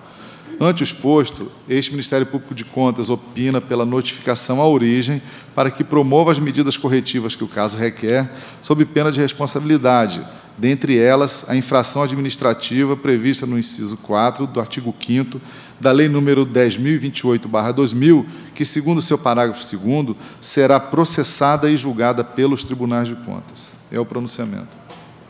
Com a palavra a nobre conselheira Maria de Jesus para proferir a leitura do seu voto. Proposta de voto, presidente. Eu concordando com o entendimento do Ministério Público, dei andamento ao processo e, considerando que o processo seletivo visa o provimento de cargos para o quadro de professor, técnico e pessoal de apoio ao ensino da rede municipal de educação, portanto, trata-se exclusivamente da contratação de pessoal para a área de educação, que a Constituição Federal estabelece que a educação é um direito de todos e um dever do Estado, encontrando-se inserida no rol dos direitos e garantias fundamentais, seu provimento dá-se pelos órgãos da gestão pública, tratando-se, portanto, de um direito juridicamente protegido. Que em seu artigo 208, parágrafo 2 da Constituição Federal prevê responsabilidade ao gestor que não oferecer o ensino obrigatório. Considerando também que os dados do Sistema de Prestação de Contas, CIPAC, demonstram que a Prefeitura Municipal de Cruzeiro do Sul reduziu a despesa de pessoal entre o exercício de 2016 e o primeiro quadrimestre de 2017, demonstrando assim uma disposição de regularizar a, a, despesa de pessoal e cumprir assim as determinações da Lei de Responsabilidade Fiscal, é que proponho que este plenário notifique o senhor Iderlei Souza Rodrigues Cordeiro, prefeito municipal de Cruzeiro do Sul, para que promova a redução da despesa com pessoal e comprove, no segundo quadrimestre de 2017, a sua adequação aos limites previstos nos artigos 22 e 23 da Lei de Responsabilidade Fiscal, sob pena de responsabilidade, dentre elas, a prevista no artigo 5 inciso 4 da Lei nº 10.028 de 2000. Que determine a DAFO, que verifique o cumprimento desta decisão e arquive o processo após a formalidade de estilo. É assim que proponho, senhor presidente, senhoras e senhores conselheiros. Ok, agradeço a nobre conselheira. Passamos à votação. Conselheiro José Augusto. O voto. Conselheiro Antônio Jorge Madeiro. Excelência, eu acompanho, acompanho o mesmo entendimento, mas até para nós não termos uma decisão dispara de outra tomada, inclusive nesta própria sessão, é, nós multamos, porque o, o, que ocorreu lá foi, não, nós, não, não, não é um processo onde se verificava a adequação, era um processo onde se verificava o incremento além de estar fora do limite, ainda ultrapassou mais um pouquinho. E em Feijó, eu lembro que nós, mesmo no mesmo processo, só pelo fato dele ter aberto o concurso e ter feito então isso, mesmo tem, não tendo sido decretado uh, a cautelar, foi lhe dada uma multa nesta sessão de 14.280. Então, nesse mesma linha, acompanho na íntegra o entendimento da, da da nobre relatora, mas aplica uma multa ao gestor de 14.280, porque a cautelar era apenas suspensa pelo TJ, era apenas para que não surtisse o efeito da determinação da exoneração, mas o ato foi feito, foi praticado e ele está previsto em lei com multa, então eu acompanho o voto da nobre relatora no sentido de inchar que está correto, que, que tem que ajustar e tal, e o prazo é agora dia 30 de agosto, e aplicam uma multa ao gestor de 14.280. É como voto, excelência. Conselheiro Antônio Cristóvão. É, no mesmo sentido também, senhor presidente, já no voto decidido anteriormente, com encaminhamento também ao presidente da Câmara, e ao, ao prefeito e ao, ao presidente, presidente, do, TJ, do TJ, e ao Ministério Público. Senhor presidente, só uma questão de ordem, só para esclarecer que, assim, eu vejo a diferença entre o processo anterior e este, porque no processo anterior houve um incremento. E neste, não. Houve uma redução já da despesa durante esse período. Já foi demonstrado que houve redução da despesa. O que a gente verifica é que o prefeito está disposto a reduzir, né? está, está demonstrando essa, essa disposição de reduzir a despesa, onde ele já reduziu em parte e continua reduzindo. Então, espera-se que ele se enquadre agora e comprove isso no segundo quadrimestre. Então, eu vejo essa diferença, por isso não, não apliquei a, a multa. Conselheiro Ronald Palanco. No processo anterior, eu já votei com a multa de 7.140, porque a, a redução da despesa, ela é, a, a, nova contratação é superior ao que ele, ao que ele reduz. É, então, eu tinha mantido, inclusive no voto anterior que eu fiz há duas sessões atrás, eu, eu nem pedia também a multa, e eu vejo cada vez mais, estou convencido que os municípios têm uma sobrecarga muito grande com essa área social, mas precisam realmente tomar algumas medidas, e uma delas é cuidar essa, essa parte pessoal ou então agir politicamente para demonstrar que eles são afetados de forma concreta mesmo. Então eu mantenho a minha multa de R$ 7.140. Conselheira do SINEA. Também acato a proposta de voto da nobre relatora, senhor presidente, mas eu aplico a multa também de 14.280, porque, embora ele tenha feito a redução, mas na época em a que época. ele realizou o concurso, ele transgrediu e incrementou. Então, nesse sentido, pela manutenção da multa. Conselheira Ana Maria. Era exatamente isso, senhor presidente, que eu ia falar. É que, no caso, a cautelar, ela se deu por quê? Ela se deu porque, naquele período, ele estava acima do limite. Então, ele descumpriu. Então, a multa ela vai por esse, esse ínter, esse período aqui, esse, esse espaço aqui. Então, é por isso que eu também advogo, e como a gente tem mantido, pela maioria, 14 mil, e advogo a, a, a mesma multa que, que a gente já vem praticando. Então, vamos ver. Decisão. Decidiu-se por unanimidade, divergindo. Acrescentando a multa. Decidiu-se por unanimidade nos termos do voto da nobre conselheira é, Maria de Jesus, acrescentando-se a multa de R$ 14.270 e encaminhando a Câmara, é, Ministério Público e Judiciário e Tribunal de Justiça, isso, né? É. Senhor tá. presidente, só para esclarecer, eu só acho que é, acatando a minha proposta de, de voto, né? porque não, não é voto, é proposta. A proposta é de voto, mas foi votado já a Isso. sua proposta. Uhum. A vossa proposta. Encerrada a pauta.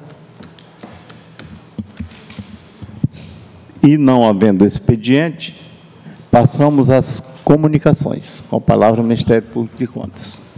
Obrigado, senhor presidente. Quero apenas cumprimentar todos os presentes e agradecer a todos aqueles que contribuíram para a realização dessa sessão.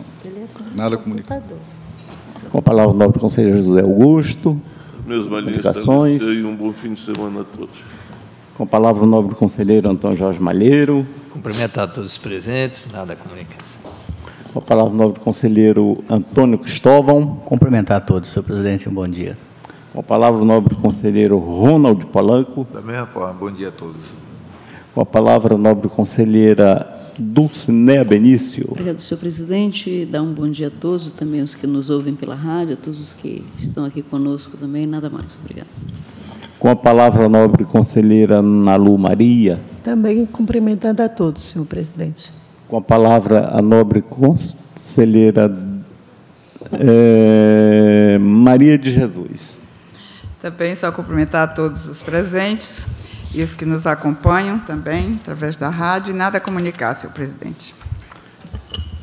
Então, eu, eu quero fazer um anúncio de qualquer forma, porque eu me senti bastante abalado, seja, sou sincero, com a notícia que tive ontem da, do falecimento de um amigo dos brasileiros, o nobre ex-senador é, Roger Molina, que faleceu é, ontem lá na, no Distrito Federal, em Brasília, né? Então, ele era realmente um amigo dos brasileiros e eu quero é, dar nossa solidariedade aos familiares daquele nosso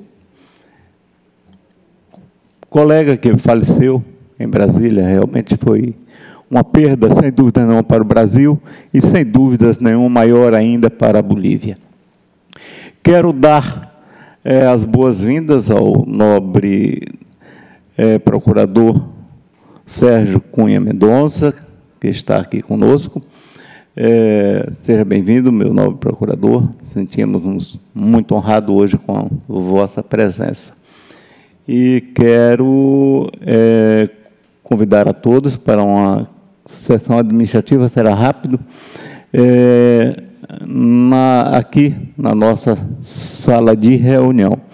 E agradeço a presença de todos, agradeço a presença dos senhores conselheiros, senhoras conselheiras, Ministério Público de Contas, e nada mais havendo a tratar, dou por encerrada a presenciação, convocada outra para dia e hora regimental. Vão com Deus.